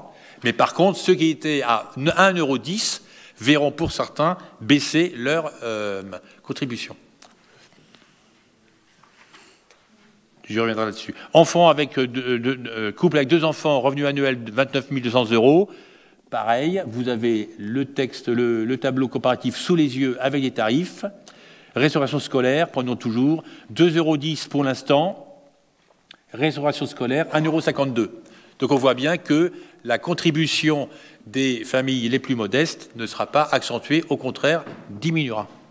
Ensuite, un couple avec deux enfants, revenu, euh, mensuel 8 250 euros. Ce sont ceux qui seront le plus haut de la borne. Eh bien, pour l'instant, euh, restauration scolaire, 3,70 euros. Donc, vous avez montré que c'était une amplitude très très faible entre le tarif le plus bas et le tarif le plus haut. Alors que là, il va passer de 3,70 euh, à 5,40, un rapport de 1 à 9. Et ce rapport de 1 à 9, nous le retrouverons dans toutes les euh, tarifications de tous les services. Voilà, en conclusion, chaque famille aura son propre tarif. Les seules familles qui auront des tarifs identiques, en dehors de celles qui auraient les mêmes, évidemment, ressources mobilisables par part, sont celles qui seront au tarif plancher ou celles qui seront au tarif maximum. L'amplitude des tarifs de toutes les activités entre la borne minimum et maximum sera de 1 à 9. Et ce système permet de garantir une progression tarifaire équitable en fonction des ressources et de supprimer les effets de seuil créés par le système actuel par planche, par tranche. Pardon. Voilà. Je vous remercie de votre attention et je suis prêt à répondre à vos questions. Merci. Bon. En tout cas, merci euh, Michel et, les services. J'ai la conviction que les, élus travaillent, parce que c'est un travail engagé, Michel, depuis maintenant. Un an. C'est un an de travail, d'engagement citoyen des élus. Je le dis parce qu'il y en a qui disent que les élus ne travaillent pas. On a le droit de ne pas être d'accord avec les élus, mais je pense que dans la République française qu'on vit aujourd'hui, c'est important de valoriser l'engagement citoyen qui fait qu'on devient élu et qu'on donne de son temps pour euh, mener des politiques publiques. Donc euh, merci Michel. Je dirais la même chose, euh, je le dis là parce que dans une période, je pense, où il faut apaiser les choses et valoriser la République. Pareil pour Francis et ses collègues qui ont travaillé sur les services techniques. Il y a beaucoup de travail. Et merci, j'associe la direction générale et la direction qui est là pour le travail euh, mené euh, auprès euh, des élus, et puis le cabinet conseil qui nous a accompagnés, parce que c'est un travail très fin, pour arriver, je reprends les, trois mots forts, c'est une délibération qui va permettre plus d'équité, plus de cohérence et de visibilité, et beaucoup plus simple pour les, pour les familles. Monsieur Bell. Oui, je vous remercie de, de saluer le travail des élus et donc j'imagine qu'il y a également les élus de l'opposition dans, ce, dans ces salutations. C'est pour ça que vous avez une indemnité d'ailleurs. Car effectivement, monsieur, monsieur Piriou, effectivement, nous travaillons beaucoup pour, euh, pour contrôler ce que l'on a sous la main et pour euh, soulever les lièvres lorsqu'il y en a, euh, afin que, que les corbeillers sénois puissent les chasser s'ils si, ils estiment nécessaire. Euh, je voudrais, euh, monsieur, monsieur Nouaille, je voudrais saluer euh, ce travail que vous avez fait, qui me semble, malgré ce que je vais dire après, car vous vous doutez bien que, que même si je, salue maintenant votre travail, voilà, il y aura quelques lièvres que je vais soulever tout à l'heure. Donc je voulais saluer le, le, travail que vous avez fait, notamment sur la progressivité de la, des, tarifications, enfin du, quotient familial. C'est un travail qui aurait dû être fait dans le passé, qui n'a pas été. très bien.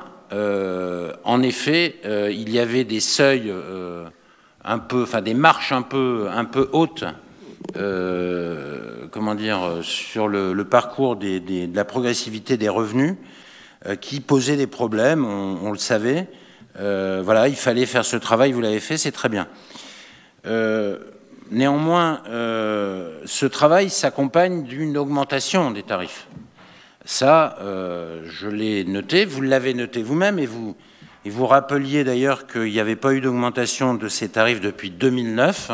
C'est d'ailleurs, je ne sais pas, il y a peut-être une corrélation à faire. Il n'y avait pas non plus eu d'augmentation des taux d'imposition de des Corbeil-Essonnois depuis, euh, depuis 2009 également. Donc c'est euh, une, euh, c'est peut-être peut lié. alors, vous avez, donc j'en profite au passage, vous avez augmenté les taux d'imposition de manière énorme, énorme. Euh, en 2023 notamment, vous le continuez en 2024 en appliquant les bases, l'évolution des bases, et euh, eh bien, on aurait pu penser que euh, bah, vous laisseriez un peu tranquille les gens qui, qui, payent des impôts dans cette ville. Mais non, ce n'est pas le cas, et je vais en parler tout à l'heure. On a une évolution des tarifications qui est effectivement très forte pour un certain nombre de Corbeil-Essonnois, moins pour d'autres, mais en réalité pour à peu près tout le monde en, l'espèce, puisque donc ceux qui payaient le moins vont payer, en gros, je parle de la restauration scolaire essentiellement, que vous appelez pause méridienne, restauration scolaire, euh, vont payer en gros trois fois plus qu'ils ne payaient auparavant pour les, revenus les plus faibles, et pour les, plus, les moins modestes, les moins faibles, que vous vous appelez les plus riches, euh, eh bien, euh, les moins modestes, eux, vont voir passer le, comment dire, le coût du repas journalier de leurs enfants de 3,70 euros à 5,40 euros, ce qui représente la bagatelle d'une augmentation de 45% de leur participation sur les repas. 45%, alors je me trompe peut-être, hein, mais si je ne me trompe pas, en tout cas, ça fait environ 30 euros par jour supplémentaires et par enfant. 30 euros par jour et par enfant, euh, vous avez donné comme exemple, pardon, par mois, excusez-moi, 30 euros par mois et par enfant. Ça, euh, c'est donc l'exemple que vous donnez pour la famille de deux enfants, 60 euros pour deux enfants par mois. Eh bien, euh, ça ne laisse indifférent personne à Corbeil-Essonne parce que à Corbeil-Essonne, bah, les revenus ne sont pas si élevés, même quand ils sont euh, au maximum, enfin au plus élevé dans, la ville par rapport aux au plus faibles. Voilà. Donc, ce qui m'interpelle, c'est que il y a quelques mois, vous nous aviez parlé donc lorsque vous aviez euh, décidé euh, d'abandonner, en tout cas pour cette mandature, le passage en régie de la restauration scolaire et que vous aviez donc confirmé cet abandon de votre promesse électorale, en tout cas pour ce mandat, par la matérialisation d'une nouvelle délégation de services publics de restauration scolaire, euh, vous nous aviez dit, mais euh, la participation des habitants n'est peut-être pas suffisante, peut-être que, afin d'augmenter la qualité des repas, eh peut-être qu'on pourrait augmenter un peu la participation euh, des parents pour leurs enfants scolarisés et, et, mangeant à la cantine scolaire. Vous aviez évoqué le fait que, effectivement, Egalim, l'application d'Egalim, la loi qui est arrivée en application depuis votre, je dis bien en application, elle existait auparavant, depuis votre prise de fonction, coûtait de l'argent, coûtait au budget, ce qui est exact, mais que vous alliez améliorer la qualité et que, donc, peut-être alliez-vous augmenter les tarifs. Donc, ma, question, puisque j'en ai une quand même, euh, c'est évidemment, est-ce que cette augmentation de tarification, qui est donc euh, absolument pas négligeable, euh, qui va peser sur les foyers, quels qu'ils soient, quel que soit leur niveau, eh bien, de revenus, eh bien, est-ce qu'elle va se traduire par une augmentation de la qualité qui évidemment est euh, le corollaire du prix, normalement, normalement, le, corollaire de l'évolution d'une majoration du prix du repas euh, et donc du service euh, municipal offert aux enfants de, de, la population de Corbeil-Essonne. J'ai noté, et je le rappelle, que euh, vous avez tellement plaidé pour le passage, par exemple, de l'eau en régie, euh, les Corbeil-Essonnois ont pu constater que euh, le passage de l'eau, de, la distribution d'eau potable en régie avait provoqué une augmentation de leur facture d'eau. Est-ce que vous nous promettez, enfin, on, peut se féliciter finalement que vous ayez maintenu le système de délégation de services publics, mais malheureusement, même avec vous, même, euh, même sans passer en régie, euh, on est obligé de constater que euh, cette délégation de services publics va finalement coûter cher, notamment aux revenus les moins modestes. Et je conclurai en disant, Monsieur Piriou, est-ce que vous avez comme dessein de faire partir tous les gens les moins modestes de cette ville? Est-ce que c'est votre objectif? Est-ce que l'impôt, l'augmentation de 19% de 2023 n'aurait pas pu servir en partie, et c'était légitime, à maintenir les tarifs de restauration scolaire? Les seuls tarifs qui pèseront sur euh, l'ensemble de la population euh, étudiante scolaire de cette ville. Est-ce que c'est votre objectif que de faire partir les moins modestes de façon à ce que cette ville devienne définitivement la plus pauvre de l'Essonne? Est-ce votre objectif? Est-ce que tous vos discours concernant la mixité sociale, la nécessité de faire venir de nouvelles familles plus aisées pour rééquilibrer la population de la ville, est-ce que ce discours est un discours fantoche? C'est ça la vraie question. Et c'est ça qui est en corollaire de toutes vos décisions. Et là encore, dans cette décision que vous prenez, encore une fois, je n'ai pas parlé de, la, de la forme. J'ai félicité M.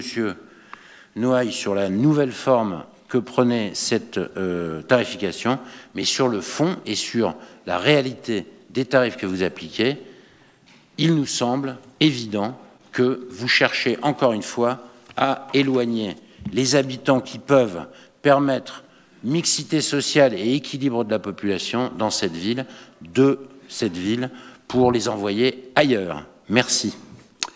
Monsieur Breton. Merci, monsieur le maire. Moi, je m'inscris euh, effectivement dans les propos de mon collègue Jean-François Bell, parce que euh, vous nous avez répété à l'envie, monsieur le maire, qu'on ne choisissait pas d'être pauvre. C'est vous qui m'avez. Hein, c'est peut-être pas vous, mais vous avez repris cette euh, citation on ne choisit pas d'être pauvre. Je vous ai appris ça. Voilà, j'ai retenu en quatre ans, j'ai retenu quelques maximes comme ça, mais voilà. Euh, et vous avez une politique d'accueil pour les plus nécessiteux. Hein, on l'a bien vu avec les douches euh, au Champ-Louis, euh, l'épicerie sociale. Euh, donc effectivement, vous avez bien pris conscience que les corbeillers saunois ne sont pas des gens riches. La preuve, il y a 30% de gens qui vivent au seuil de pauvreté, sous le seuil de pauvreté. Donc, ce qui m'étonne un peu, c'est que, effectivement, comme disait euh, Jean-François, euh, pour la tranche la plus faible qui passe de 20 centimes à 60 centimes, ça fait une hausse de 200%. C'est quand même énorme le signal qui est envoyé, je ne sais pas lequel, euh, lequel il est. Et puis pour les tranches les plus favorisées, euh, on a une augmentation de 45%. Donc effectivement, à travers tout le discours, tout ce qu'on nous a raconté avec euh, effectivement cette présentation et le travail qui a été mené, qu'on salue parce qu'il a été abondant et conséquent.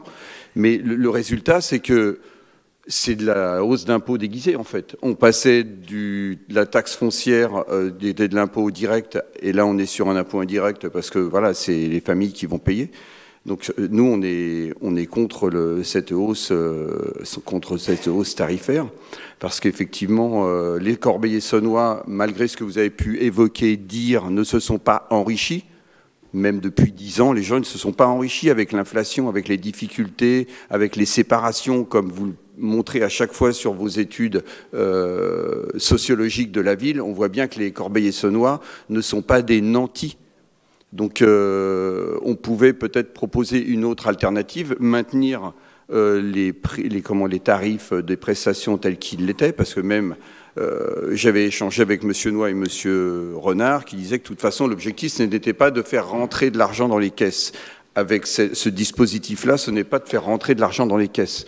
Donc, si on n'a pas besoin de faire rentrer de l'argent dans les caisses, il n'est peut-être pas nécessaire d'avoir euh, entrepris toute cette euh, politique tarifaire. D'autant plus que j'imagine que le cabinet qui vous a épaulé pour faire ce travail ne l'a pas fait gratuitement. Donc ça, c'est aussi une de mes questions. Je voulais savoir combien avait pris euh, ce cabinet pour euh, réaliser ce travail qui est quand même conséquent, important. Et puis, comme le disait aussi Jean-François, c'est la double peine pour les tranches les plus favorisées, parce que non seulement on leur a mis 20% de taxes foncières, mais là on leur remet 45% euh, avec le tarif de la, de la restauration scolaire. Et j'ai envie de dire, le problème, c'est qu'on en a parlé hier, Monsieur Noy est venu à mon conseil d'école. Euh, le service pour les élèves, il va y avoir la ville éducative, on va faire plein d'affichages, mais on n'a toujours pas de bus pour faire sortir nos élèves, quoi. Donc euh, on fait des économies, on a baissé la dotation des transports, il n'y a plus de bus, on sort plus. Moi j'avais des CP qui devaient sortir à un cirque, on a annulé parce qu'on n'a pas l'argent pour le, le, payer le quart, on ne peut pas sortir. Et en plus, on leur remet une couche euh, au niveau de la tarification pour la restauration scolaire. Moi, je considère qu'il y a quand même deux populations qui sont à protéger et qui sont sacrées dans la société, c'est les seniors, bien sûr, les personnes handicapées, et les enfants on ne doit pas toucher à ces typologies-là. on ne fait pas des économies euh, ou on ne demande pas plus de participation pour la, cantine. La cantine, ça doit être, euh, vous le disiez vous-même, monsieur le maire, euh, l'eau, tout ça, c'est des biens dont on doit pouvoir avoir accès sans restriction budgétaire et ça doit être pour tout le monde, surtout les enfants. Donc là, on envoie un signal, allez, 200% de hausse d'augmentation pour les tranches au RSA qui passent de 20 à 60 centimes. Donc euh, voilà, nous on est un peu, euh, on peu remonté contre cette délibération, même si on considère que le travail euh, n'est pas à remettre en question, mais le résultat est que, bah voilà, ça va coûter plus cher à la tranche la plus faible, donc la plus vulnérable de la population, hein, parce que la plus vulnérable, c'est aussi des mamans seules avec des enfants euh, qui sont en difficulté, qui vont devoir aller faire des ménages pour payer plus pour la cantine, donc euh, travailler plus tard, laisser leurs enfants euh, sans surveillance. Moi, je le vois bien dans l'école où je suis, les, les, gens ne roulent pas sur l'or, c'est difficile. Donc là, leur remettre encore une, une augmentation, c'est vraiment c'est une punition, quoi. Donc voilà. C'était le sens de mon intervention. Et si vous pouvez me répondre sur le coût du cabinet euh, qui a réalisé ce travail euh, en relation avec vos services, je vous remercie. Merci, c'est bon. Madame Ketfi. Merci. Je voulais juste euh, intervenir après les deux remarques qu'ont fait mes collègues, dans lesquelles je m'inscris totalement, et, profiter pour saluer aussi le travail des élus de l'opposition, hein, évidemment et dire euh, au Corbeil-Saunois en synthèse ce qu'il est en train de se passer ce soir. Donc ce soir, en synthèse, après l'augmentation des impôts, après l'inflation qui touche tout le monde, on, vous, vous allez voter ce soir, membres de la majorité, une augmentation du coût des prestations municipales pour tout le monde, sans aucune amélioration du service. Voilà ce qui va se passer ce soir, et ça c'est un fait. C'est ce que vous allez présenter. Ma question est, euh, j'imagine que vous avez envisagé aussi une euh, évolution des créances irrécouvrables, puisque euh, un certain nombre de, de familles déjà n'étaient pas en mesure de pouvoir payer la cantine pour leurs enfants. Et donc, est-ce que vous avez revu, de mémoire, il y avait à peu près 150 000 euros dans les comptes de créances irrécouvrables Est-ce que vous avez prévu dans les comptes une hausse proportionnelle à la hausse de vos tarifs de, euh, ces, euh, de ces créances? Et, enfin, vous dire que je comprends que vous n'ayez pas répondu à, mon message sur le personnel communal et, son mal-être. Vous avez, comme souvent, hein, esquivé, qui est une de vos manipulations préférées. Peut-être qu'un jour, vous prendrez les responsabilités euh, de maire et que euh, vous répondrez aux questions qui vous sont posées et que les agents vous posent. Et enfin, j'espère quand même que les agents auront une réponse à ce courrier qu'ils vous ont adressé, je le répète, le 15 avril. Alors, merci. Donc, Michel, peut-être sur euh, des précisions sur... oui, sur des précisions. Sur les tarifs. Hein je voudrais dire, déjà, je voudrais dire aux élus de l'opposition que être dans l'opposition, ça n'exempte pas de prendre en compte la réalité. Et la réalité à laquelle on a été confronté en 2020, c'est que pendant des années, contrairement à toute logique et tout effet bénéfique, il n'y a pas eu d'augmentation de l'imposition, des taxes foncières, et donc perte de ressources pour euh, investir. Et deuxièmement, aucune augmentation des tarifs. Prenons l'exemple de la pause méridienne depuis 2009 15 ans, mais n'importe quelle ménagère, n'importe quel individu, homme ou femme, qui va faire son marché, qui va dans une grande surface, sait bien qu'en 15 ans, eh les denrées ont pris euh, une augmentation très importante. Mais ça, évidemment, il a fallu qu'on le gère.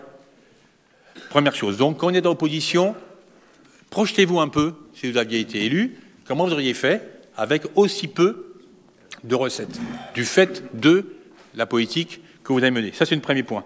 Ensuite, très précisément, euh, non, Monsieur Bell, euh, quand on augmente de 3,70 euros à 5,40, oui, ça fait 45%.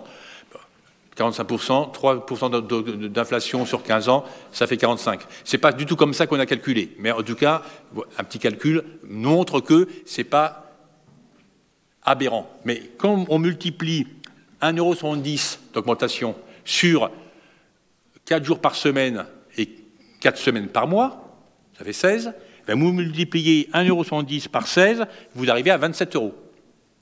Pas à 40, d'accord? Par mois, hein? D'accord. Donc les chiffres, ce sont ceux-là. Et quand vous allez comparer, et vous l'avez dans la, délibération, quand vous allez comparer les tarifs, en particulier de ceux qui paieront le moins, il y a 10 baisses.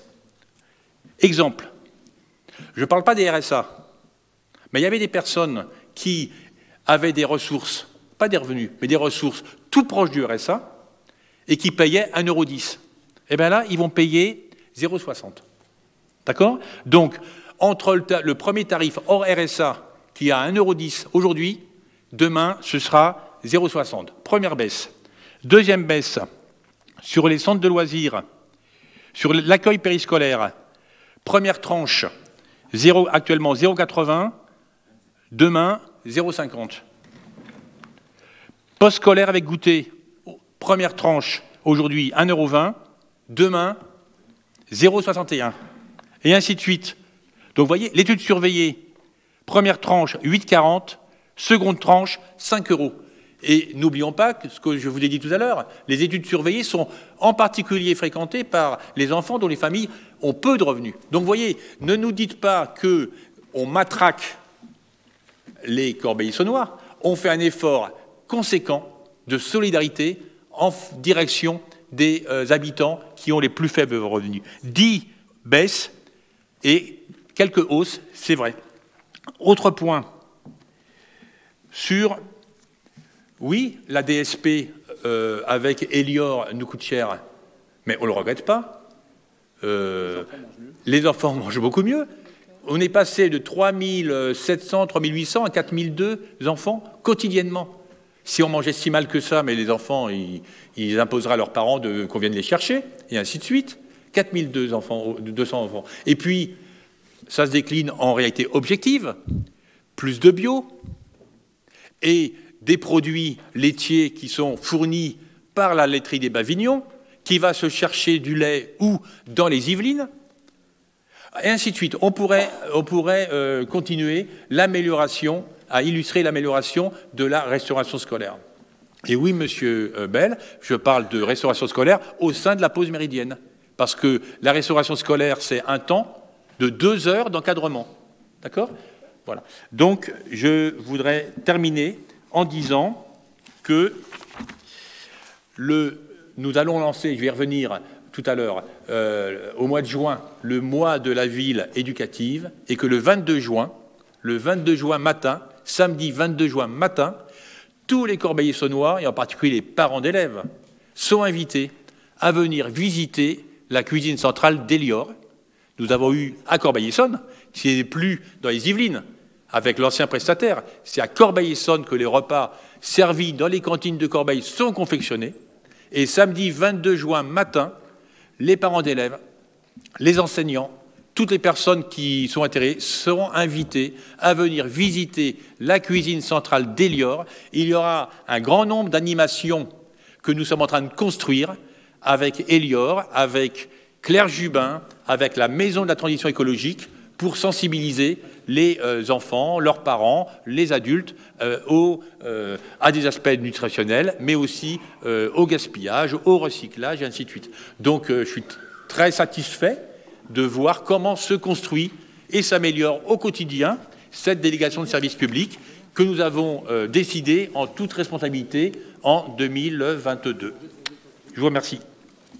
Merci Michel. Je vais conclure si alors, peut-être avant, euh, Sylvain, vas-y. Oui, d'abord, je voudrais répondre à une question qui a été posée, je crois, deux fois à propos euh, de la lettre euh, dont Madame Ketfi a donné lecture. D'abord, quand même, quand elle dit les syndicats ou l'intersyndical, il faut respecter les signataires. Il y a deux syndicats, et je les respecte, et on dialogue avec eux, qui ont signé, et le principal syndicat n'a pas signé. Donc quand on dit l'intersyndical, dans le langage habituel des syndicalistes, on dit il y a une intersyndicale, ça réunit tous les syndicats. Ici, ce n'est pas le cas. Alors rétablissons les faits, tout simplement. Première chose que je euh, voulais dire. Euh, deuxièmement, je vais faire une remarque technique, si j'ose dire. Pendant des années, les tarifs n'ont pas augmenté. Et ce n'est pas, en fin de compte, raisonnable que des tarifs ne suivent aucunement l'évolution euh, qui tient à l'inflation, qui tient à la valeur de la monnaie. Alors la question euh, qu'on peut se poser, c'est est-ce que globalement, quand on regarde l'ensemble des prestations que produit la commune, est-ce qu'il va y avoir une forte augmentation des recettes C'est-à-dire, est-ce que nous profitons de cette réforme pour prendre euh, de l'argent au Corbeil-Essonnois d'une manière importante, injuste? Et la réponse est très clairement non. Alors, peut-on mesurer euh, la recette? D'une manière précise au plan théorique C'est impossible. Pourquoi? Parce que nous savons ce que les gens, ce que nos administrés ont consommé, mais nous ne pouvons pas savoir ce qu'ils consommeront. Par exemple, on constate qu'il y a plus de gens qui vont à la cantine parce qu'on a amélioré la qualité. On ne sait pas comment la variation des tarifs que vient de proposer Michel Nouaille, comment elle influera sur les consommations. Au total, il est probable, mais ce n'est qu'une estimation, puisque je répète, on ne peut pas le calculer euh, techniquement. Au total, il est probable que l'augmentation globale des recettes sera compris entre, j'avance le chiffre à titre personnel, entre 5 et 8% C'est donc beaucoup moins, beaucoup moins que l'inflation. Et donc, nous avons à la fois, et d'autre part, cette augmentation pèsera essentiellement sur ceux qui ont le plus de moyens, puisque un très grand nombre de personnes vont payer moins, parce que le système sera plus juste. C'est ça qui est l'essentiel.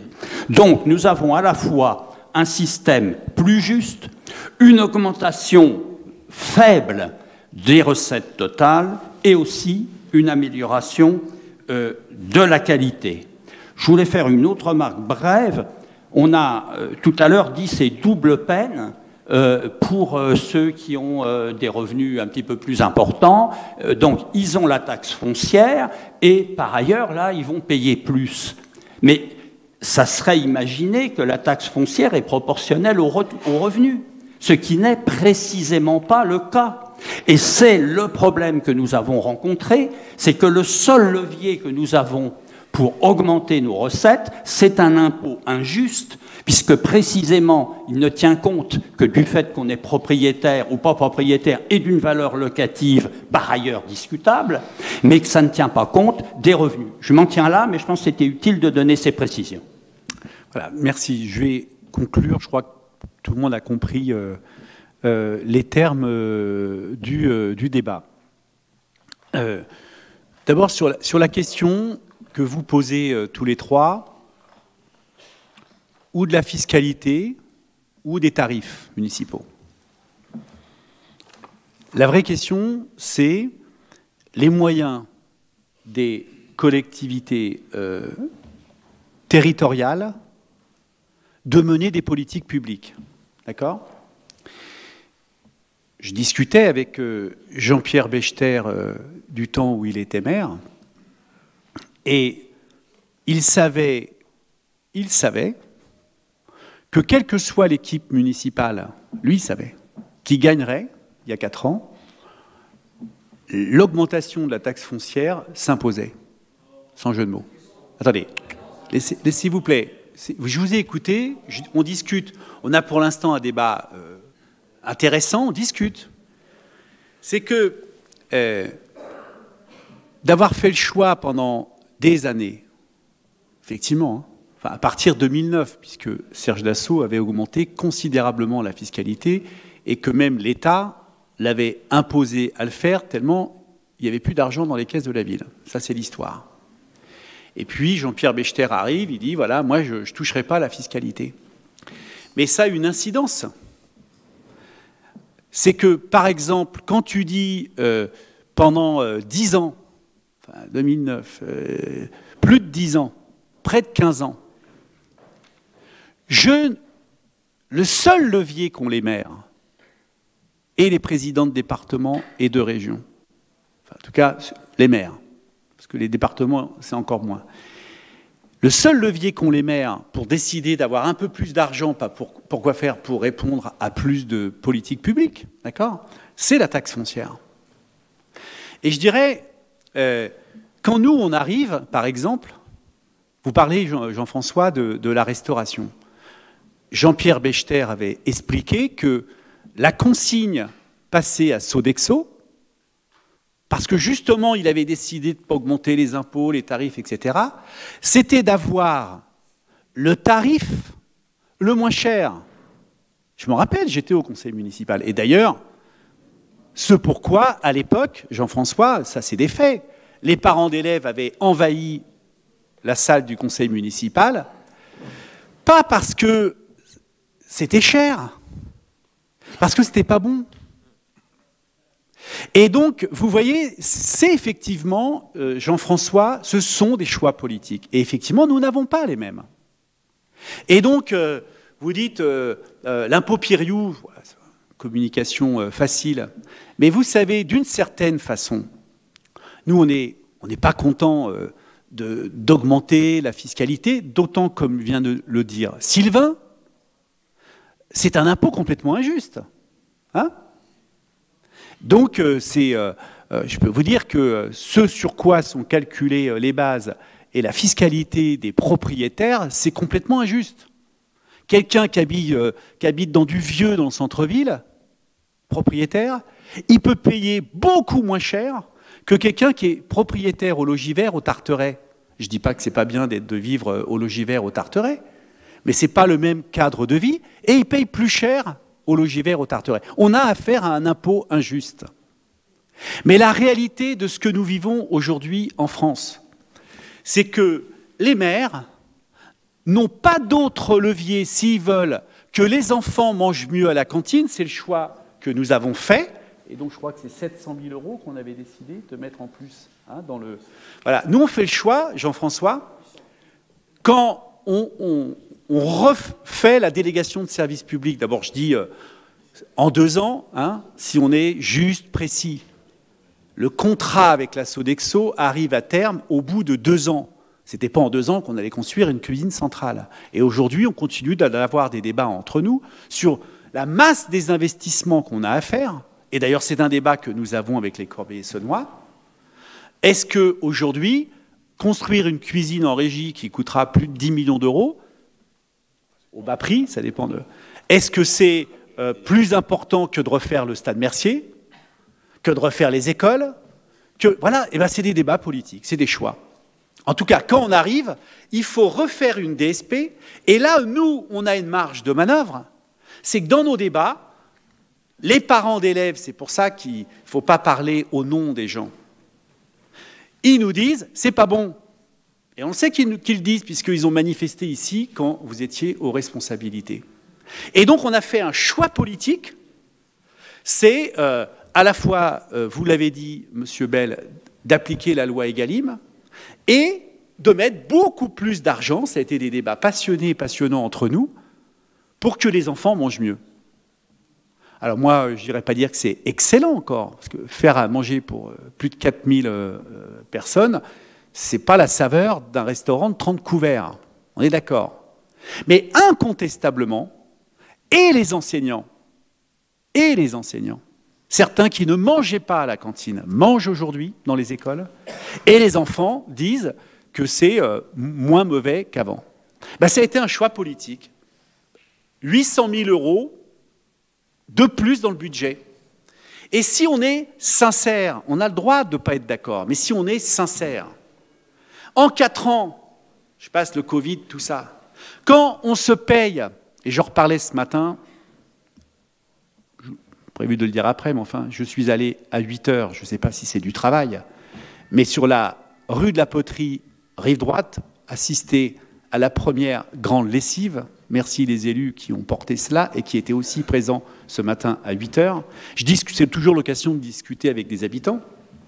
Eh bien, euh, en tout état de cause, je reviens sur cette question de la, restauration. Notre choix, ça a été que les gens mangent mieux et donc on a fait plus cher. Et donc on a euh, un des leviers qu'on avait pour payer, oui, c'était l'électricité dont me parlaient les gens ce matin. J'ai discuté avec une, une petite dame, qui habite au bout de la rue de la Poterie, qui me parlait de son augmentation de l'électricité.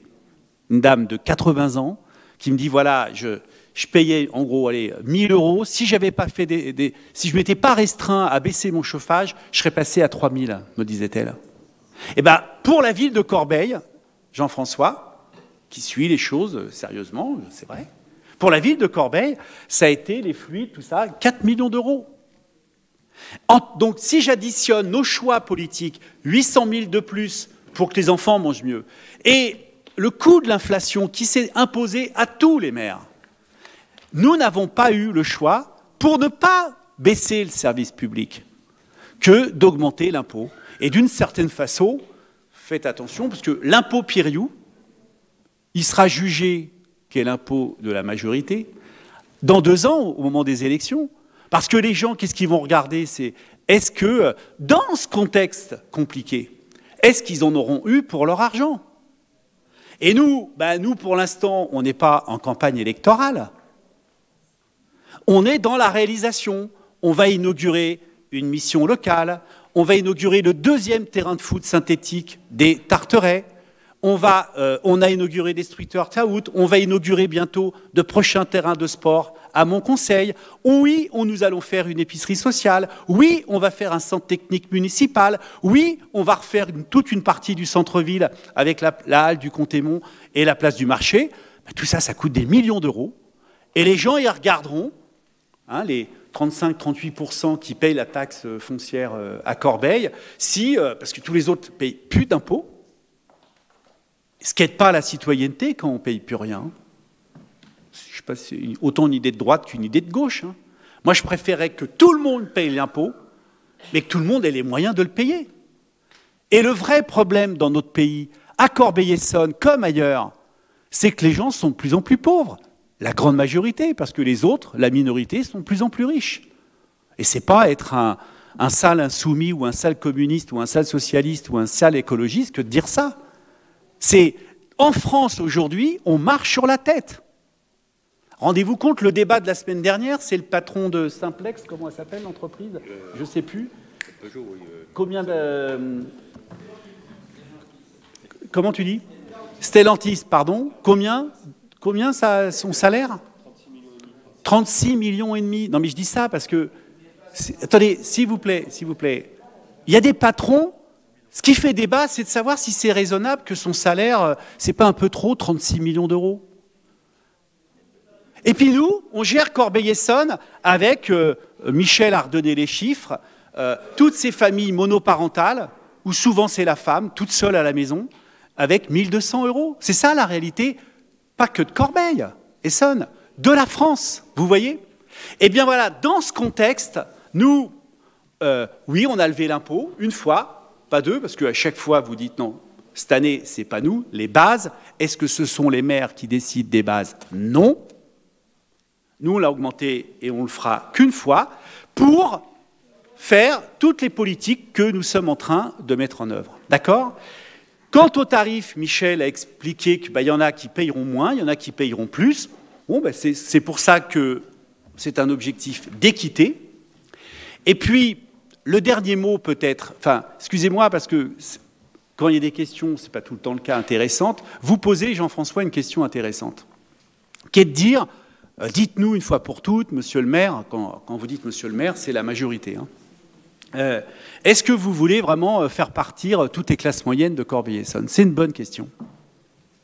Donc, comme je l'ai entendu, je ne fais pas semblant de ne pas l'avoir entendu, notre objectif politique à Corbeil, c'est de faire en sorte que les plus démunis, les plus démunis, dans ce qu'on peut faire, souffrent moins d'être démunis. Vous n'avez pas échappé que ce n'est pas le maire qui décide des salaires des habitants. Quand on va inaugurer l'épicerie sociale, et je le redis, hein, il y a des familles qui m'appellent pour demander quand est-ce qu'elle ouvre. Parce que les gens ont faim.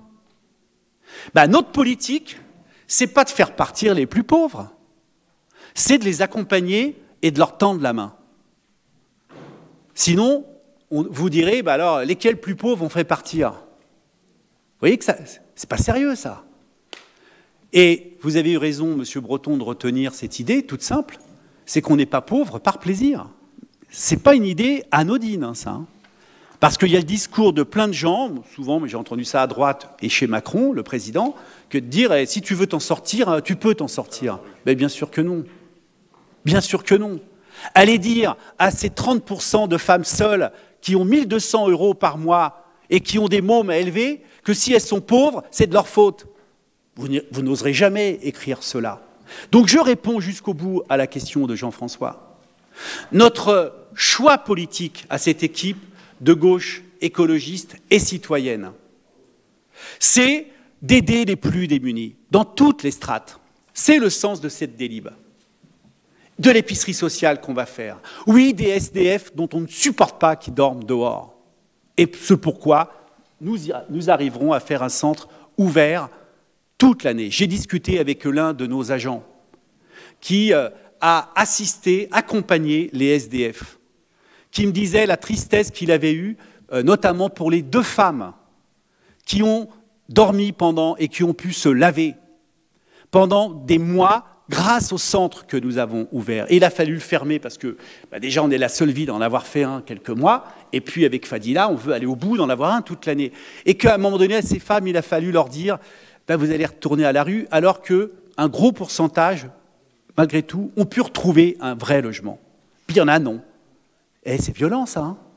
ben, nous assumons que le choix politique de cette équipe, c'est de tendre la main pour les accompagner en direction des plus pauvres. Quant aux classes moyennes, euh, j'en ai rencontré une qui habite juste à côté de chez moi et d'un autre élu, puisqu'on est quelques-uns à habiter dans le même quartier qui est une classe moyenne très supérieure, qui gagne très bien sa vie, à tel point qu'il euh, euh, cherche à vendre le pavillon dans lequel il est, tout près de chez moi, dans le centre-ville, et il en cherche un autre, et il me dit Mais je veux rester à Corbeil-Essonne. Et je dis Mais, parce que la question peut se poser, dans une ville qui est en reconstruction, c'est notre avis, aux multiples défis, mais aux multiples atouts, et d'ailleurs je pense que vous aimez Corbeil-Essonne, sinon vous ne seriez pas là, ben comme nous. D'accord? Eh bien, il m'expliquait pourquoi il aimait Corbeil-Essonne. Et pourquoi Alors qu'il avait les moyens, il avait trouvé un pavillon à Itteville. Mais il me dit, j'ai pas envie d'aller à Itteville.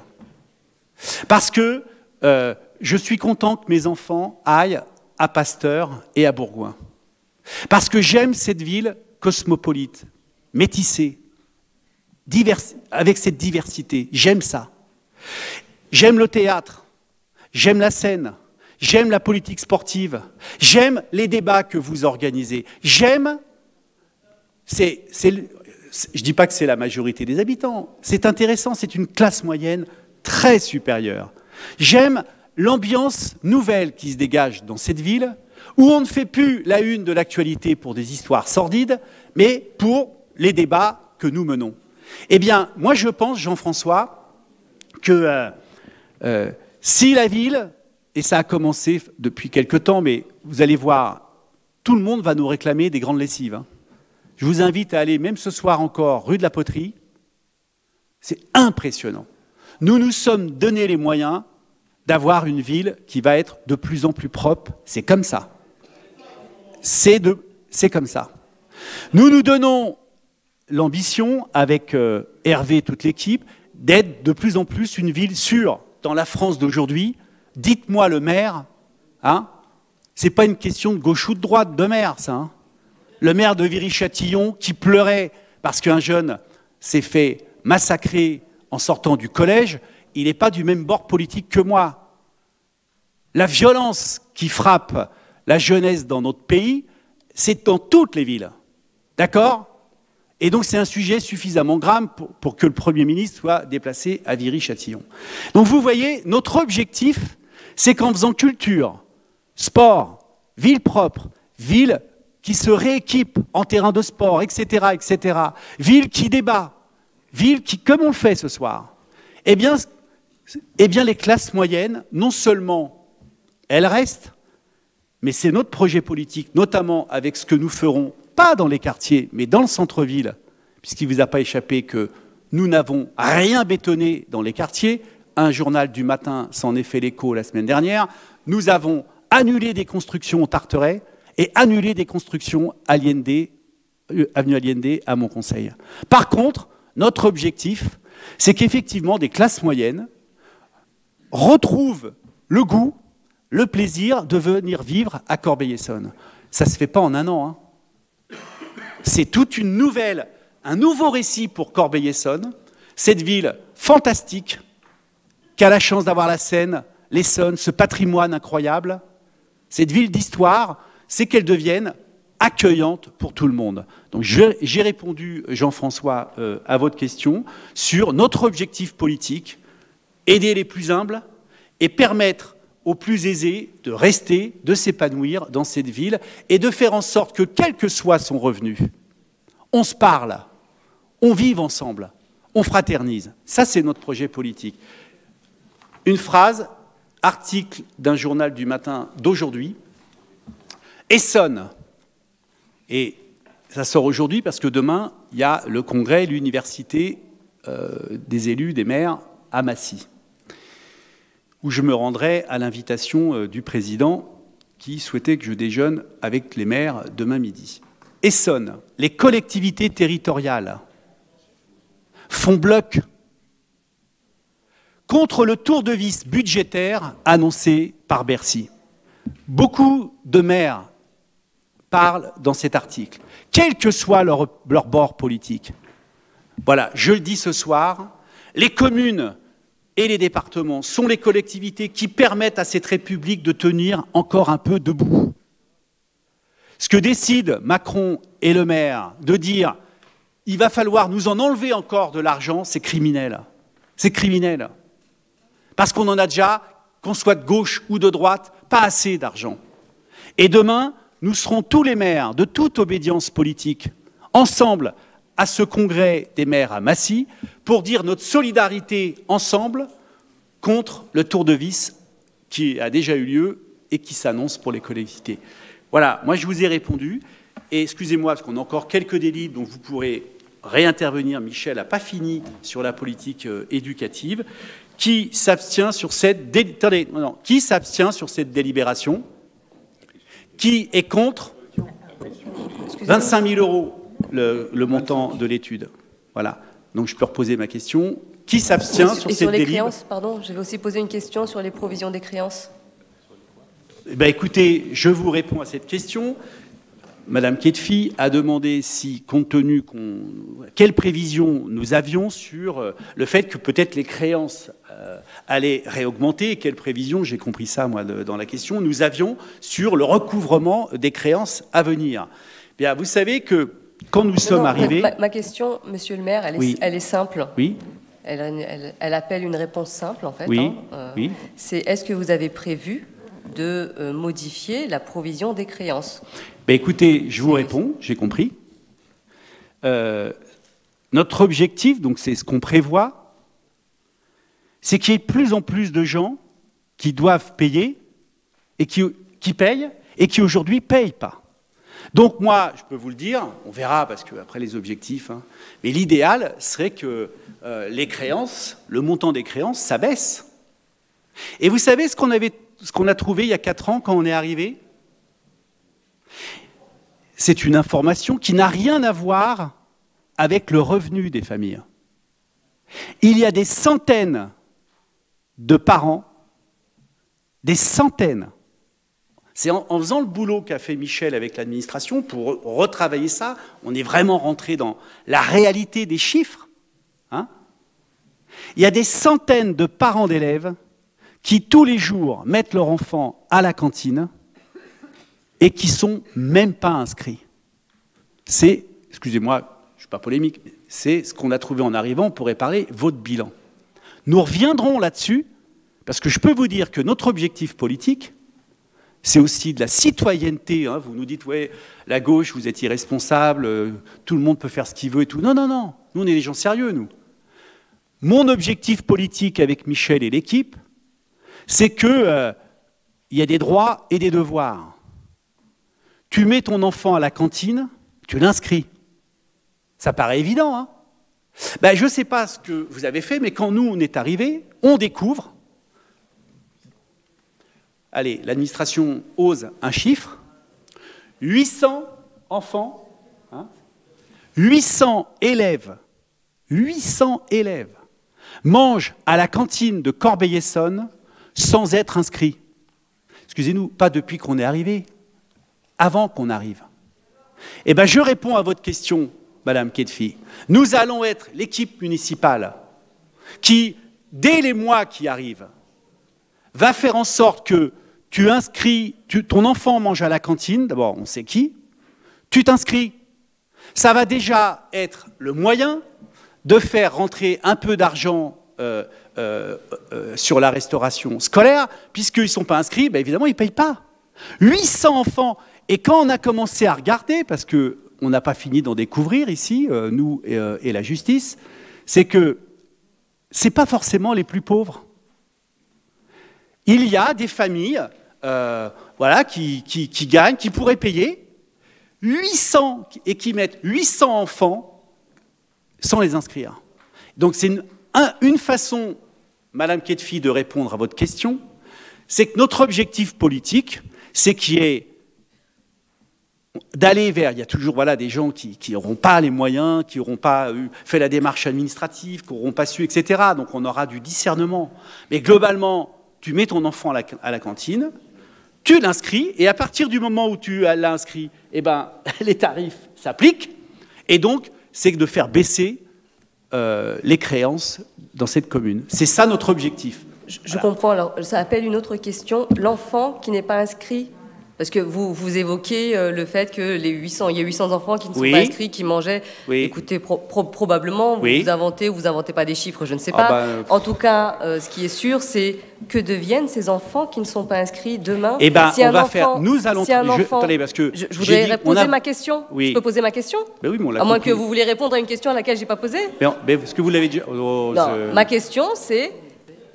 Oui, un peu de sérieux, je suis d'accord. Ma question, elle est donc est-ce que si un enfant n'est pas inscrit et qu'il se présente euh, pour euh, manger, à, man- manger à la cantine, déjeuner, est-ce qu'il sera reçu ou est-ce que vous allez le renvoyer chez lui Ben, Ou est-ce que vous allez le laisser Je voudrais finir. Oui.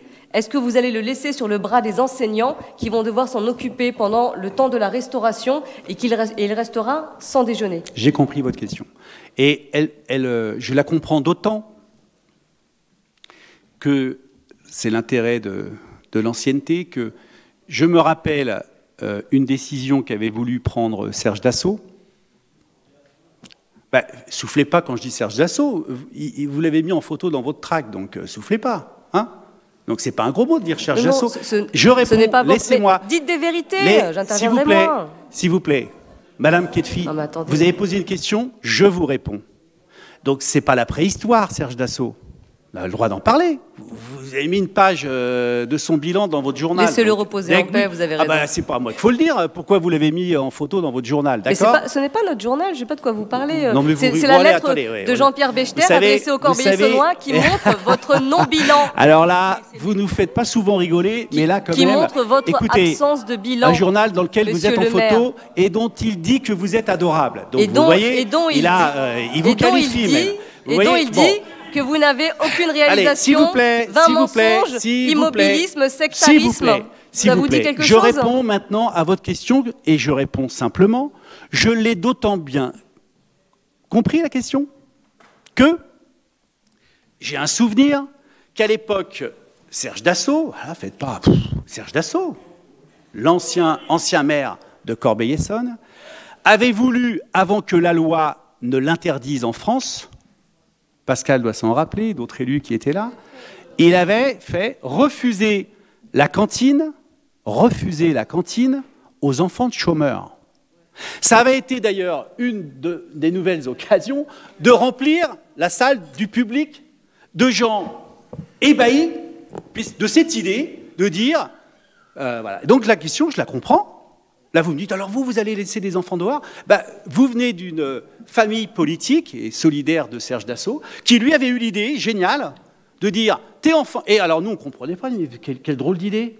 Et, il expliquait, ah non, mais comme il ne travaille pas, c'est la réponse, il était là, à ma place, hein, maintenant c'est moi, et euh, il, a dit, ah bah, bah, comme ils ne travaillent pas, ils pourront leur faire à manger le midi, et on n'a pas assez de place dans les cantines pour qu'ils mangent tous. C'est ça, la prospective n'avait pas été bien pensée, puisqu'il y avait des bâtiments qui avaient été construits, il n'y avait plus de place dans les écoles, donc on a, ils ont décidé de pas faire manger les enfants à la cantine. J'étais à l'époque animatrice, notamment sur la pause méridienne, et on voyait les gamins devant la grille qui pouvaient pas rentrer, qui mangeaient une pomme. On peut parler de Ou à qui nous, les animatrices, animateurs, on glissait un morceau de pain et un morceau de vache qui rit. Et ça m'émeut parce que ça fait partie de ma construction politique. C'est quelque chose qui a marqué mon engagement ah, politique et pour lequel notre association avait agi pour que ça cesse. Voilà. Donc vous voyez, je comprends la question. Et c'est donc une question sensible. Et donc, notre objectif, et je peux vous dire, faites confiance à Michel et à toute l'équipe, pour que notre objectif, c'est que tous les enfants qui veulent ou qui n'ont pas le choix que de manger à la cantine, je vous réponds, mange à la cantine. Nous ne serons pas l'équipe municipale qui mettront des gamins dehors. Je vous ai répondu. Par contre, nous serons l'équipe municipale responsable qui va faire un travail avec toutes les familles de Corbeil-Essonne pour que les gens euh, rentrent dans la civilisation. Je dis ça parce que c'est ça une civilisation. Hein? Et on a un débat sur la civilisation aujourd'hui. Hein c'est que euh, il y ait du civisme. Il y ait du civisme. Ton enfant mange à la cantine, vous les parents, vous les inscrivez. Voilà, j'ai répondu. Nous ne serons pas l'équipe municipale qui mettront un seul gamin dehors. Par contre, on va travailler, Michel, et on a commencé. Quand on a découvert qu'il y en avait 800, ça n'a pas été euh, un détail, hein. Et d'ailleurs nous en avons discuté avec Elior, eh bien nous serons l'équipe qui, va faire en sorte que tous les gamins qui veulent manger mangent, tous ceux qui doivent payer payent. Merci pour ce débat intéressant. C'est encore à toi, euh, Michel. Et donc, on a voté, je crois, non, je ne sais plus. On n'a pas voté, c'est bien ce qui me semblait, puisqu'on a, on a remis 100 euh, balles dans le jukebox. Qui s'abstient sur cette délibération? Qui est contre? L'ensemble de l'opposition. Je vous remercie. Et un de vos collègues qui n'est pas encore élu, je ne sais pas s'il le sera un jour, et qui vote dans le fond. Et, c'est très bien. Alors, Michel, c'est encore, euh, encore à toi. Donc, c'est une délibération qui si elle est adoptée, permettra le reversement par la commune de Corbeil-Essonne du fonds intitulé Mini-projet aux porteurs de projets inférieurs à 5 000 euros dans le cadre de la cité éducative. Je voudrais juste profiter de cette délibération pour euh, donner quelques éléments d'information sur où en est la cité éducative de Corbeil-Essonne et ensuite, euh, évidemment, revenir sur ce euh, projet de délibération. Rappelez-vous que nous sommes arrivés en, quand les cités éducatives ont été créées en 2019. J'ai une petite pensée amicale pour mon camarade Philippe Rio, qui travaillait avec euh, d'autres élus de toute sensibilité poétique et avec euh, Jean-Louis Borloo. Hein, mais l'idée est partie de Grigny, cette ville que vous montrez très souvent du doigt dans votre acte de fin de campagne. J'ai garde en, mémoire et j'ai garde sous le coude parce que c'est des collectors. Eh bien, en 2019, donc, vous aviez euh, candidaté pour que le quartier des Tarterets soit cité éducative. Donc en 2020, quand nous sommes arrivés en responsabilité, nous avions bien en tête qu'il y avait trois autres quartiers relevant de la politique de la ville et qui ne faisaient pas partie de la cité éducative. Donc nous sommes intervenus pour l'élargissement de cette cité éducative, nous l'avons obtenu, et donc aujourd'hui, les quatre quartiers politiques de la ville font partie de la cité éducative. Ça, c'est un premier point. Très grande dynamique, euh, très nombreux projets, 72 projets sont actuellement en cours d'élaboration, enfin en cours d'exécution, pardon, et euh, l'appel à projet pour l'année euh, à, venir est euh, en cours, lui, d'exécution. Ça, c'est un premier point, donc très grande dynamique. Je rappelle simplement, comme tout le monde aime Corbeil-Essonne, tout le monde est attentif au bien-être des enfants, à leur avenir. Je, je, redonne quatre objectifs de la cité éducative. Bien grandir ensemble, ça a forcément de l'écho au regard des contextes que nous vivons. Réussir à l'école et au-delà. S'ouvrir à de nouveaux horizons être bien dans sa tête et dans son corps. Donc objectif tout à fait pertinent au regard de la réalité vécue par les enfants, les jeunes 0-25 ans de Corbeil-Essonne. Troisième point, ces sites éducatives, elles ont un tel succès, et la nôtre étant tellement remarquée qu'hier, j'ai été invité en tant qu'élu de la ville, j'ai été invité en tant qu'élu de la ville avec ma collègue en charge de la, même délégation que moi de Rissorangis, Aurélie, mon fils. Nous avons été tous les deux proposés par le PEDEC et par la DAZEN pour venir répondre aux questions de huit villes qui candidatent à être, pour une part, cité éducative. Donc je veux dire par là que ça veut dire que je pense que c'est un signe, un témoignage de la vitalité de notre cité éducative et je veux rendre hommage aussi au rôle important que joue notre directrice de l'éducation et notre chef de projet Cité éducative. Voilà. Donc, dernier point, c'est que euh, la cité éducative est un concept, pas qu'un concept, une dynamique tellement euh, pertinente, à condition de bien savoir le faire vivre, ce cadre, cette dynamique, que je pense, comme avec d'autres élus, que ça peut être le prototype de la politique éducative de toute une ville. Car on sait bien qu'aujourd'hui, il y a des quartiers, des écoles qui ne sont pas en QPV et qui pourtant connaissent les mêmes problématiques et qui ne sont pas dans cette dynamique-là et qui n'ont pas les euh, budgets alloués. Donc, moi, en tant qu'élu, évidemment que la dynamique de la cité éducative euh, m'enrichit et c'est pourquoi, au mois de juin, du 30 mai, date de la course de l'égalité et est-ce qu'il y a un plus beau thème que l'égalité quand on parle d'éducation? Je ne pense pas. Donc du 30 mai, course de l'égalité, portée par la Cité éducative et l'association Espoir, dans le cadre de la Cité éducative, jusqu'au 28 juin, les guinguettes, nous allons mener le mois de la ville éducative. Ce sera l'occasion de mettre en valeur des projets, des activités qui sont programmées durant ce mois. Je pense course, course de l'égalité, au-delà des mots, la fête de l'enfance, euh, la chorale avec les marmots, et ainsi de suite. Un grand nombre de projets sont déjà programmés dans ce, mois. Et en plus, le 13 juin, le 14 juin, à la médiathèque, il y aura deux soirs de forum débat où nous permettrons à des projets qui se déroulent toute l'année, je pense au Louvre, je pense aux, aux projets portés par la Cité éducative et l'association Alternate, Trois classes ont vécu chacune une semaine non pas dans leur école, mais sur une péniche. Et on naviguait ensemble, tout ensemble, trois classes de trois quartiers différents, bien grandir ensemble, euh, sur la péniche, au large de Corbeil-Essonne, car on veut que nos enfants aillent plus loin et plus longtemps. Eh bien, ce mois, donc, j'appelle tous les, les, élus, évidemment, à faire part de leurs idées. C'est en cours d'élaboration. Retournez-vous vers notre directrice de l'éducation. Entre le 30 mai et le 28 juin, donc, un grand nombre d'initiatives pour valoriser ce que font les gens, ce que font les associations, ce que font les enseignants, ce que font les services municipaux en matière d'éducation, valoriser ce qu'ils font, les mettre en relation, construire progressivement ce qu'on peut appeler une communauté éducative. Voilà. Donc j'en viens à la délibération. Nous nous sommes aperçus au sein du comité de pilotage de la cité éducative qu'il y avait des projets très intéressants, mais qui demandaient des budgets de moins de 5 000 euros. Or, la politique de la ville demande que les budgets soient au moins, des projets soient au moins de 5 000 euros. Donc ça excluait des projets intéressants, mais modestes, modestes, mais très intéressants. Donc nous avons obtenu des autorités de pouvoir débloquer des mini-projets. Les, les, collèges ont 10 000 euros de budget, la ville en a 15 000 pour financer des mini-projets.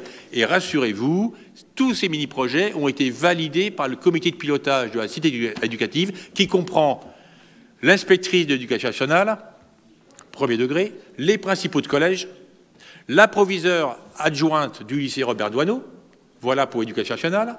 Le délégué du préfet.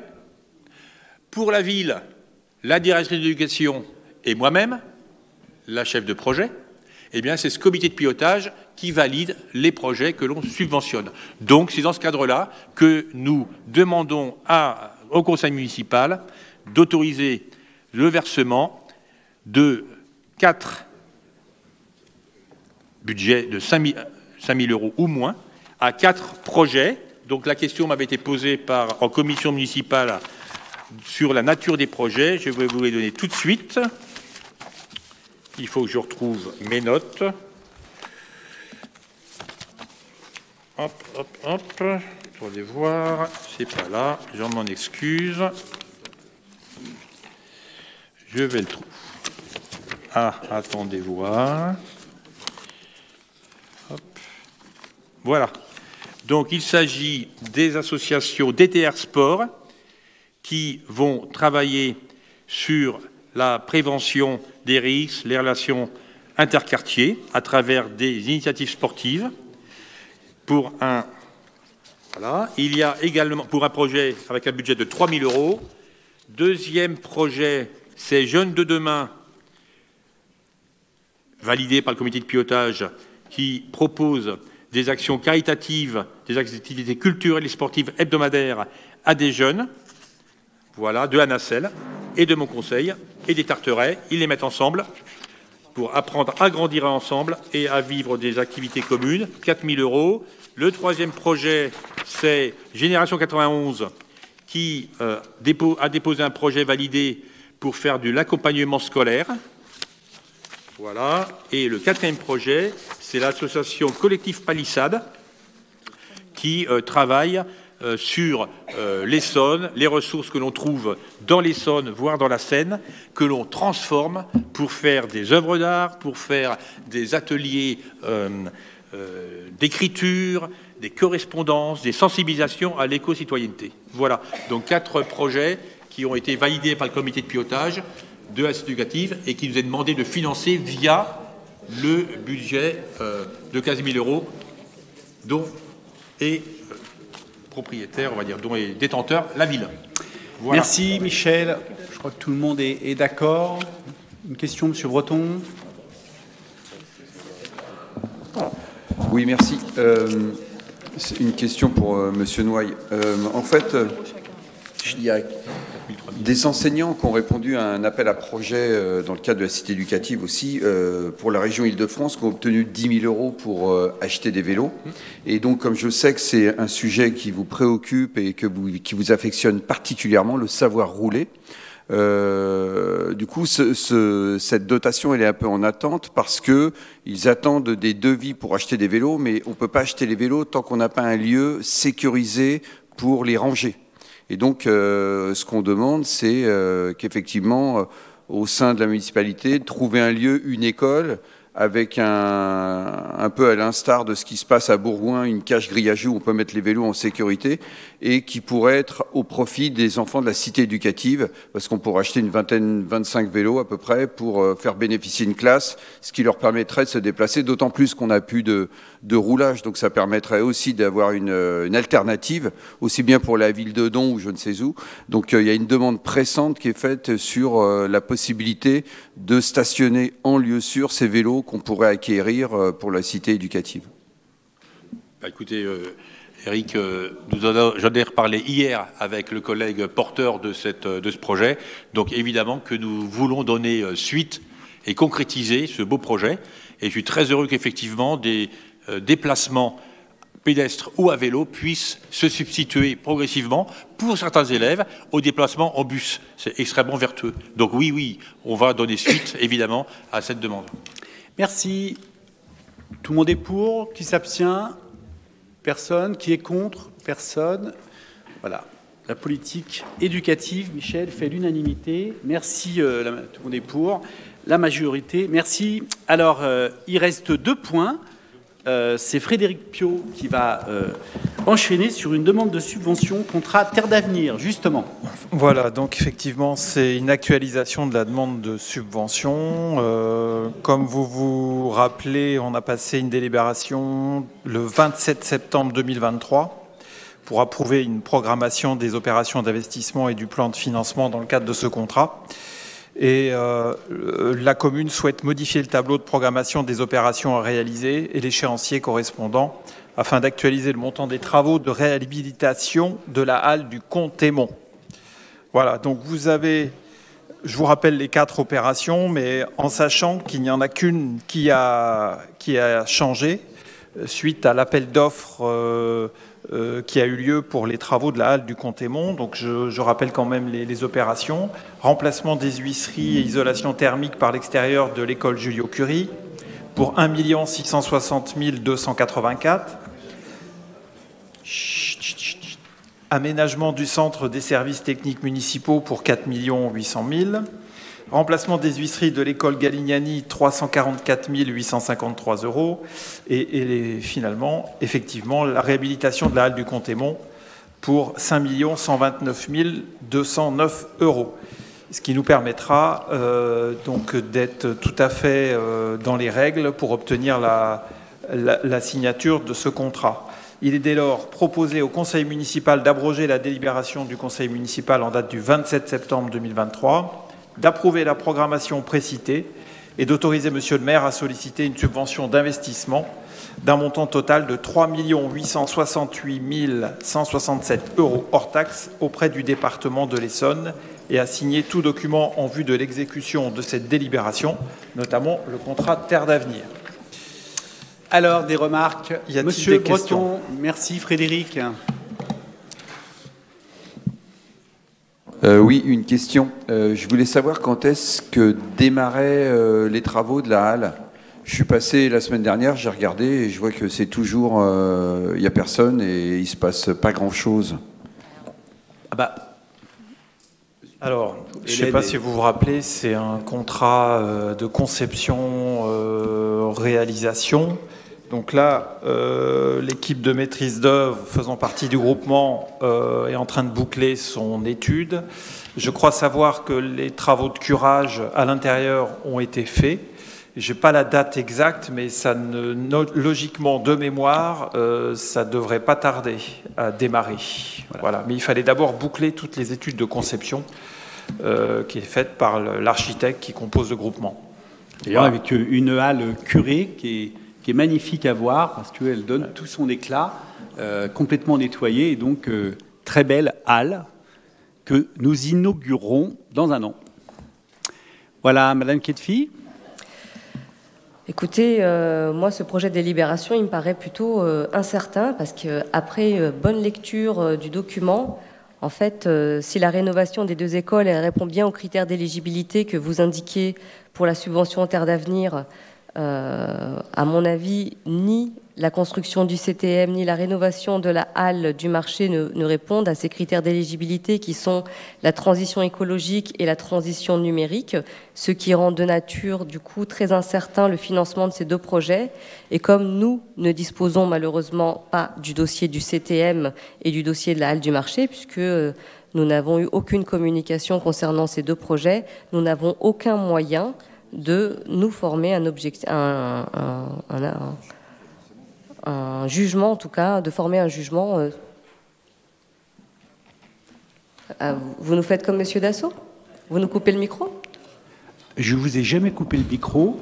Et euh, plus vous parlez, pardonnez-moi, pardonnez-moi, sport, donc je vous le couperai jamais. Donc ça. Euh. Oh ben, je, je, pense que vous vous trompez largement.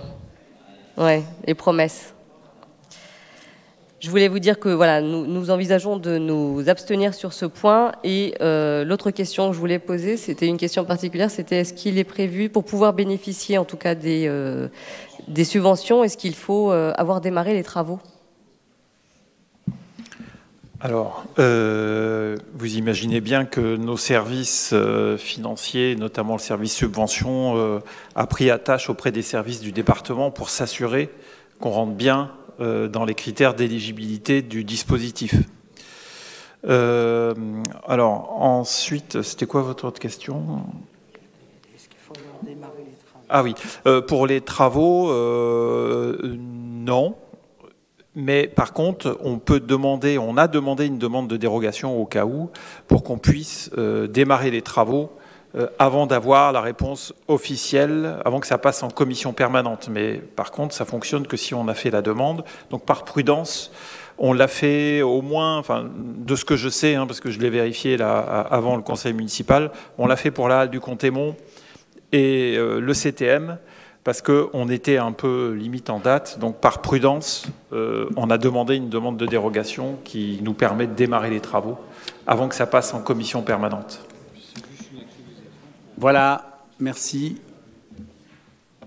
On a la garantie que le département, évidemment, va nous suivre. C'est un droit de tirage d'un contrat. Euh, Terre d'avenir, c'est la politique du département et, on remplit tous les critères. Tout le monde est pour qu'on ait de l'argent du département. Il y a des abstentions? Alors, le groupe. Euh, alors, l'opposition s'abstient et nous, on est pour avoir des subventions du département pour faire les écoles, la place du Comtémont et le centre technique municipal. Merci Frédéric. Dernière euh, délibération, Monsieur Renard. Oui, alors il s'agit d'un protocole transactionnel entre la commune de Corbeil-Essonne et un ancien agent euh, communal. On pourrait penser que ce cas individuel euh, pourrait être traité sans une délibération, mais la loi nous impose dans ce cas de passer par une délibération du conseil municipal, ce que nous faisons bien entendu. Un agent de sécurité a été recruté euh, sous contrat par la, commune de Corbeil-Essonne en 2012. Il a ensuite bénéficié de renouvellements successifs de son contrat à durée déterminée jusqu'en 2021. Et en 2021, comme euh, on sait, la commune s'est rendue compte qu'il n'était pas possible de renouveler comme ça d'année en année, parce que sinon il y a un risque de requalification, on a euh, une dernière fois euh, pour une durée de six mois, fait un contrat à durée déterminée à cet agent et on l'a informé qu'on ne renouvellerait pas euh, ce dernier contrat. L'agent a engagé plusieurs procédures contentieuses auprès des juridictions administratives. Il demandait l'annulation de la décision de non-renouvellement et la requalification en contrat à durée euh, indéterminée. Chaque compte tenu des aléas judiciaires euh, et de leurs positions respectives radicalement opposées, les partis, c'est-à-dire l'agent et la commune, euh, se sont rapprochés. Vous savez, on dit souvent qu'il vaut mieux un bon accord amiable qu'un mauvais procès. Donc on s'est rapprochés et on a euh, proposé et on s'est mis d'accord sur un protocole transactionnel. Les caractéristiques de la transaction sont précisées dans le projet d'accord qui est annexé à la délibération Il est donc proposé euh, au Conseil municipal de bien vouloir approuver le protocole d'accord euh, transactionnel précité et d'autoriser Monsieur le maire à le signer, ainsi que toute pièce afférente. La commission municipale Finances Affaires Générales a émis un avis favorable sur, ce point. Bref, on a déjà dépensé quelque chose comme 27 000 euros de frais. Madame Ketfi, qui m'avait posé la question, a reçu aujourd'hui le détail des frais. Je le lui ai envoyé comme il est normal. Il est facile de comprendre qu'on ne peut pas continuer à dépenser comme ça euh, de l'argent, même si nous adorons les juristes et un peu moins les avocats. Donc, euh, c'est de bonne politique de s'entendre avec quelqu'un avec qui on est opposé pour éviter de continuer à dépenser de l'argent sans grande utilité. Voilà. Est-ce qu'il y a des questions? Monsieur Bell. Alors je, oui, j'apprends, euh, Monsieur Renard, que vous avez dépensé 27 000 euros de frais de jus. Oui. Oui, oui. Bon, on me dit un peu plus peut-être. je ne vais pas le cacher, hein, pas. Non, non, mais c'est bon. Vous déjà pas mal, 27 000 euros de frais de justice pour cette affaire. Donc moi, ce qui me, ce qui m'interpelle, bon, oui, euh, les contrats ont été renouvelés, euh, enfin les contrats à durée déterminée ont été renouvelés successivement. Ça se fait euh, malheureusement dans les collectivités où, si je ne me trompe, il n'y a pas de statut pour ce type d'emploi. Et donc la seule solution, c'est cela. Ça existait jadis pour les pour les emplois d'animateurs, on était obligé de faire la même chose. On pouvait pas, il n'y avait pas de statut qui permettait des, CDI. Et quoi qu'il en soit, ce qui me, ce qui m'interpelle, c'est que euh, le dernier renouvellement, le dernier renouvellement, vous informez euh, l'agent de son, du non renouvellement de son renouvellement, de son, de son dernier renouvellement, le 4 mars, c'est-à-dire 21 euh, jours avant, avant le 25 mars, date de fin du contrat. Et il me semble que dans le cas des euh, contrats à durée déterminée, les délais de euh, comment dire euh, d'information du, non-renouvellement, surtout si c'est un non-renouvellement d'un renouvellement successif, doit, être, doit être fait bien antérieurement. Et donc je me demandais si c'était ça la cause du fait que vous risquiez, puisque c'est ça que vous craignez, vous risquez d'être débouté par le tribunal et que vous avez engagé une, une procédure de, de, comment dire, de, transaction, voilà, qui est, qui est, une bonne procédure du reste. Euh, voilà, c'était ma première question. Et ma deuxième question, c'est euh, euh, donc, je crois que dans ce conseil municipal, il y a quelques représentants, quelques anciens représentants du personnel qui, étaient plus ou moins permanents du, syndicat. Je pense, euh, je pense à Martine, à Michel, je pense à Pascal, qui sont des éminents représentants euh, syndicaux et donc euh, attachés à la défense des, salariés d'une part et d'une certaine façon de voir le salariat en France. Donc, qu'est-ce que pensent ces, ces, éminents conseillers de cette procédure? Euh, appliqué par euh, le maire qui les préside euh, à un agent municipal qui, je crois, n'a rien à se reprocher, pour lequel on n'avait rien de particulier, qui avait fait son travail jusqu'à présent et qui aurait très bien pu finalement voir son, son contrat requalifié en emploi à durée indéterminée qui faisait l'affaire. Allez, monsieur Renard. attendez, il y a d'autres questions ou après c'est la dernière Madame Ketfi, une petite question ou un avis? Au moins un avis. Peut-être une question à laquelle vous aurez, on aura peut-être une réponse ce soir, puisqu'on nous sommes sur euh, le sujet du personnel communal. Je vous rappelle que je vous ai lu la déclaration d'intersyndical, Monsieur Renard. Intersyndical, c'est à partir du moment où il n'y a plus d'un syndicat qui se met ensemble pour pouvoir euh, défendre des intérêts communs. Donc l'intersyndical de la CGT et de la CFDT. Euh, donc début de, début de conseil, au point 6.1, je vous ai posé la question. Euh, milieu de conseil, au point 8.2, je vous repose la question, toujours pas de réponse, donc vous éludez gentiment de répondre au personnel. Je me pose la question, est-ce que vous avez bien reçu en fait le courrier ou pas? Je peux vous la remettre, je peux vous remettre une copie si vous en avez besoin.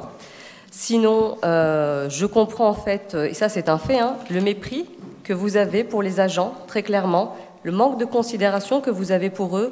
Les paroles, les promesses qui ressortent de ce document sont très claires.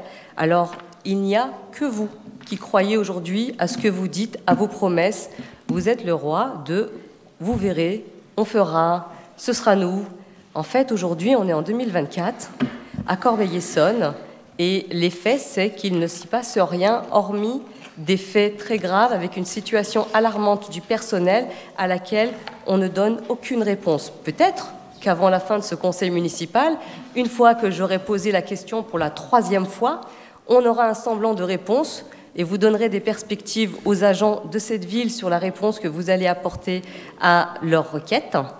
Euh, la peur règne, la peur règne au sein des services. Sachez-le. Oui, oui. Mais oui. La peur, la peur règne. s'il vous plaît, ça s'est bien passé. Madame Petite vous n'arriverez pas à casser l'ambiance. Donc je vous préviens. Mais laissez-moi parler. Et ben voilà, justement. vous systématiquement la ah parole non, non, vous, vous disiez il y a encore quelques minutes que vous ne le feriez jamais. On se délecte. Continuez, madame. Mais oui, C'est passionnant. Le sexisme, vous connaissez. Je sais que vous adorez les femmes. Et oh. Alors ça alors, Il n'y a qu'à moi de couper la parole, monsieur le maire. continuez, vous le faites parfaitement bien. Oui, allez-y. Et les mensonges, continuez vos mensonges, on n'y croit plus. C'est passionnant. En tout cas, ce qu'il se passe, c'est qu'aujourd'hui, cette délibération est la parfaite preuve de la chasse aux sorcières que vous ne faites pas, évidemment.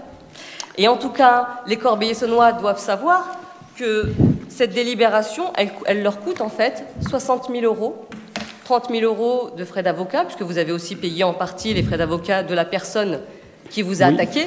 C'était, la, réponse était prévue.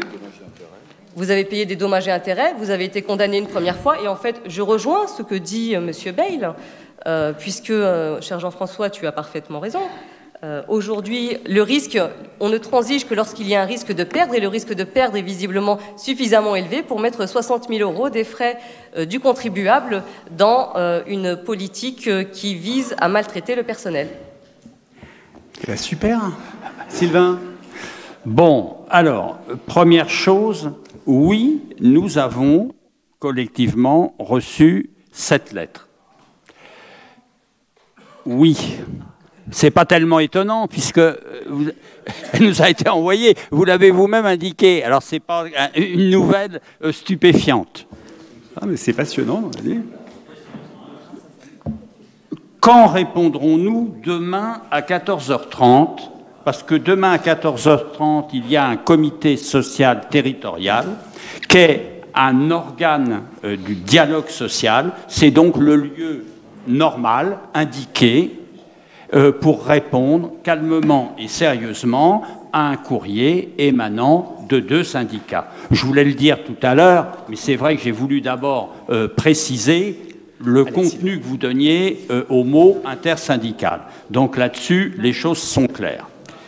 Deuxièmement, deuxièmement sur, sur les détails de date, honnêtement, je ne peux pas aujourd'hui répondre, je peux chercher, non mais je comprends la question, mais je ne connais pas toutes les modalités d'une affaire euh, qui, a commencé, qui a commencé il y a plusieurs années, donc on se renseignera, on vous fournira des détails si c'est nécessaire. La troisième chose, puisque vous présentez euh, le, le salarié en cause comme une victime, c'est que s'il y a un accord transactionnel, c'est qu'il se considère euh, parfaitement satisfait de cet accord, où il va toucher de l'argent. Il n'y a pas accord transactionnel si quelqu'un est mécontent, il, il avait la possibilité de le refuser et de continuer son action judiciaire. Et il a décidé d'un commun accord avec nous. C'est comme les ruptures conventionnelles, il n'y a pas de victime, il n'y a pas de gagnant, il n'y a pas de perdant quand on passe un accord transactionnel, ça veut dire qu'on se met d'accord à l'amiable pour éviter des délais qui sont très longs et un succès euh, qui est incertain par définition quand on euh, va devant la justice. Donc prenons ça en compte. Il n'est pas euh, victime, il a estimé à un moment qu'il était victime, les tribunaux ont donné des avis différents, il y a une longue procédure, et nous nous sommes mis d'accord avec lui, et je maintiens que c'est une bonne méthode, parce que figurez-vous qu'on a dépensé de l'argent, mais qu'on aurait pu en dépenser encore plus si on avait continué. Et c'est ça que moi je veux éviter. On peut redépenser 20 ou 30 000 euros dans cette histoire, sans d'ailleurs que ça bénéficie pour l'essentiel euh, à, à, la personne en cause, mais ça ne bénéficiera qu'aux avocats qui traiteront la procédure. Et pour une fois, je suis un petit peu d'accord avec Madame Ketfi qui veut toujours qu'on paye moins les avocats. Eh bien, voilà une occasion. Eh bien, voilà. Bravo, Sylvain. Bon, bah, écoutez, on vous a répondu. Euh, je vais rajouter juste euh, quelque chose, juste une phrase. C'est que euh, il y a des agents qu'on a trouvés ici en arrivant, et on a pensé que quand on calculait ce qui coûtait à l'année,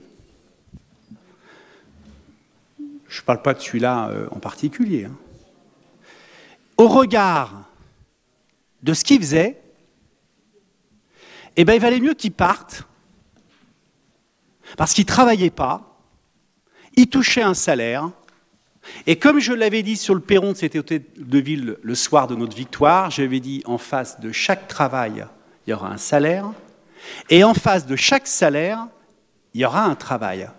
Eh bien, on continue, Madame Ketfi, de trouver des agents qui touchaient des salaires ou qui touchent et qui, selon nous, n'assument pas le travail pour lequel ils sont payés.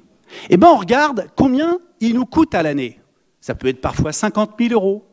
Eh bien, on préfère négocier avec eux et euh, plusieurs ont accepté. Ce n'était pas n'importe quelle agence, que c'est des, des, agents très proches de l'ancien maire. Ils ont préféré partir et toucher une somme inférieure à ce qui nous aurait coûté à l'année. Donc c'est une réponse franche. La deuxième réponse franche, c'est que le dernier agent dont j'ai décidé qu'il fallait qu'on se sépare, parce qu'il venait d'être condamné à 11 mois de prison avec sursis, pour avoir détourné de l'argent de soi-disant associations qu'il présidait et que la justice a considéré que ce n'était pas pour les associations, mais pour lui, eh bien, il attaque la ville qui le licencie. Et donc, on a des frais d'avocat, mais euh, en l'occurrence, cet agent a fait un référé qu'il a perdu il y a une dizaine de jours, et cet argent doit, à la louche, rembourser à la ville dont je suis le maire, qui s'est porté courageusement partie civile, 40 000 euros. Vous voyez, Madame Kietfi, nous continuons quatre ans après notre arrivée à faire en sorte que, un jour, à la ville de Corbeil-Essonne, tous les agents, tous les agents, et nous ferons ça et nous le faisons courageusement, qui perçoivent un salaire, travaillent. Et on découvre même d'autres choses qui étaient un peu une spécialité corbeil-essonnoise. C'est que certains agents, sans l'avoir déclaré, touchaient un salaire ici sans trop travailler et un autre ailleurs où parfois ils travaillaient, ce qui est illégal. Voilà, je suis le maire, fier d'être entouré de cette équipe municipale qui remet la ville de Corbeil-Essonne dans les clous de la République. Je vous remercie. Le prochain conseil municipal aura lieu le 5 juin. Bonne soirée. Mais quel mensonge. Il faut voter, il faut voter. Qui est pour? Voilà. Vous êtes contre? Nous ne prenons pas part au vote. Très courageusement. On vous laisse vos merci, affaires entre merci. Vos affaires, ce sont vos employés. Merci. Je n'ai euh, employé personne. Ce sont vos employés, monsieur le, le maire. 5 juin. Prenez le 5 vos juin, responsabilités pour une fois, s'il vous plaît. Endossez le costume.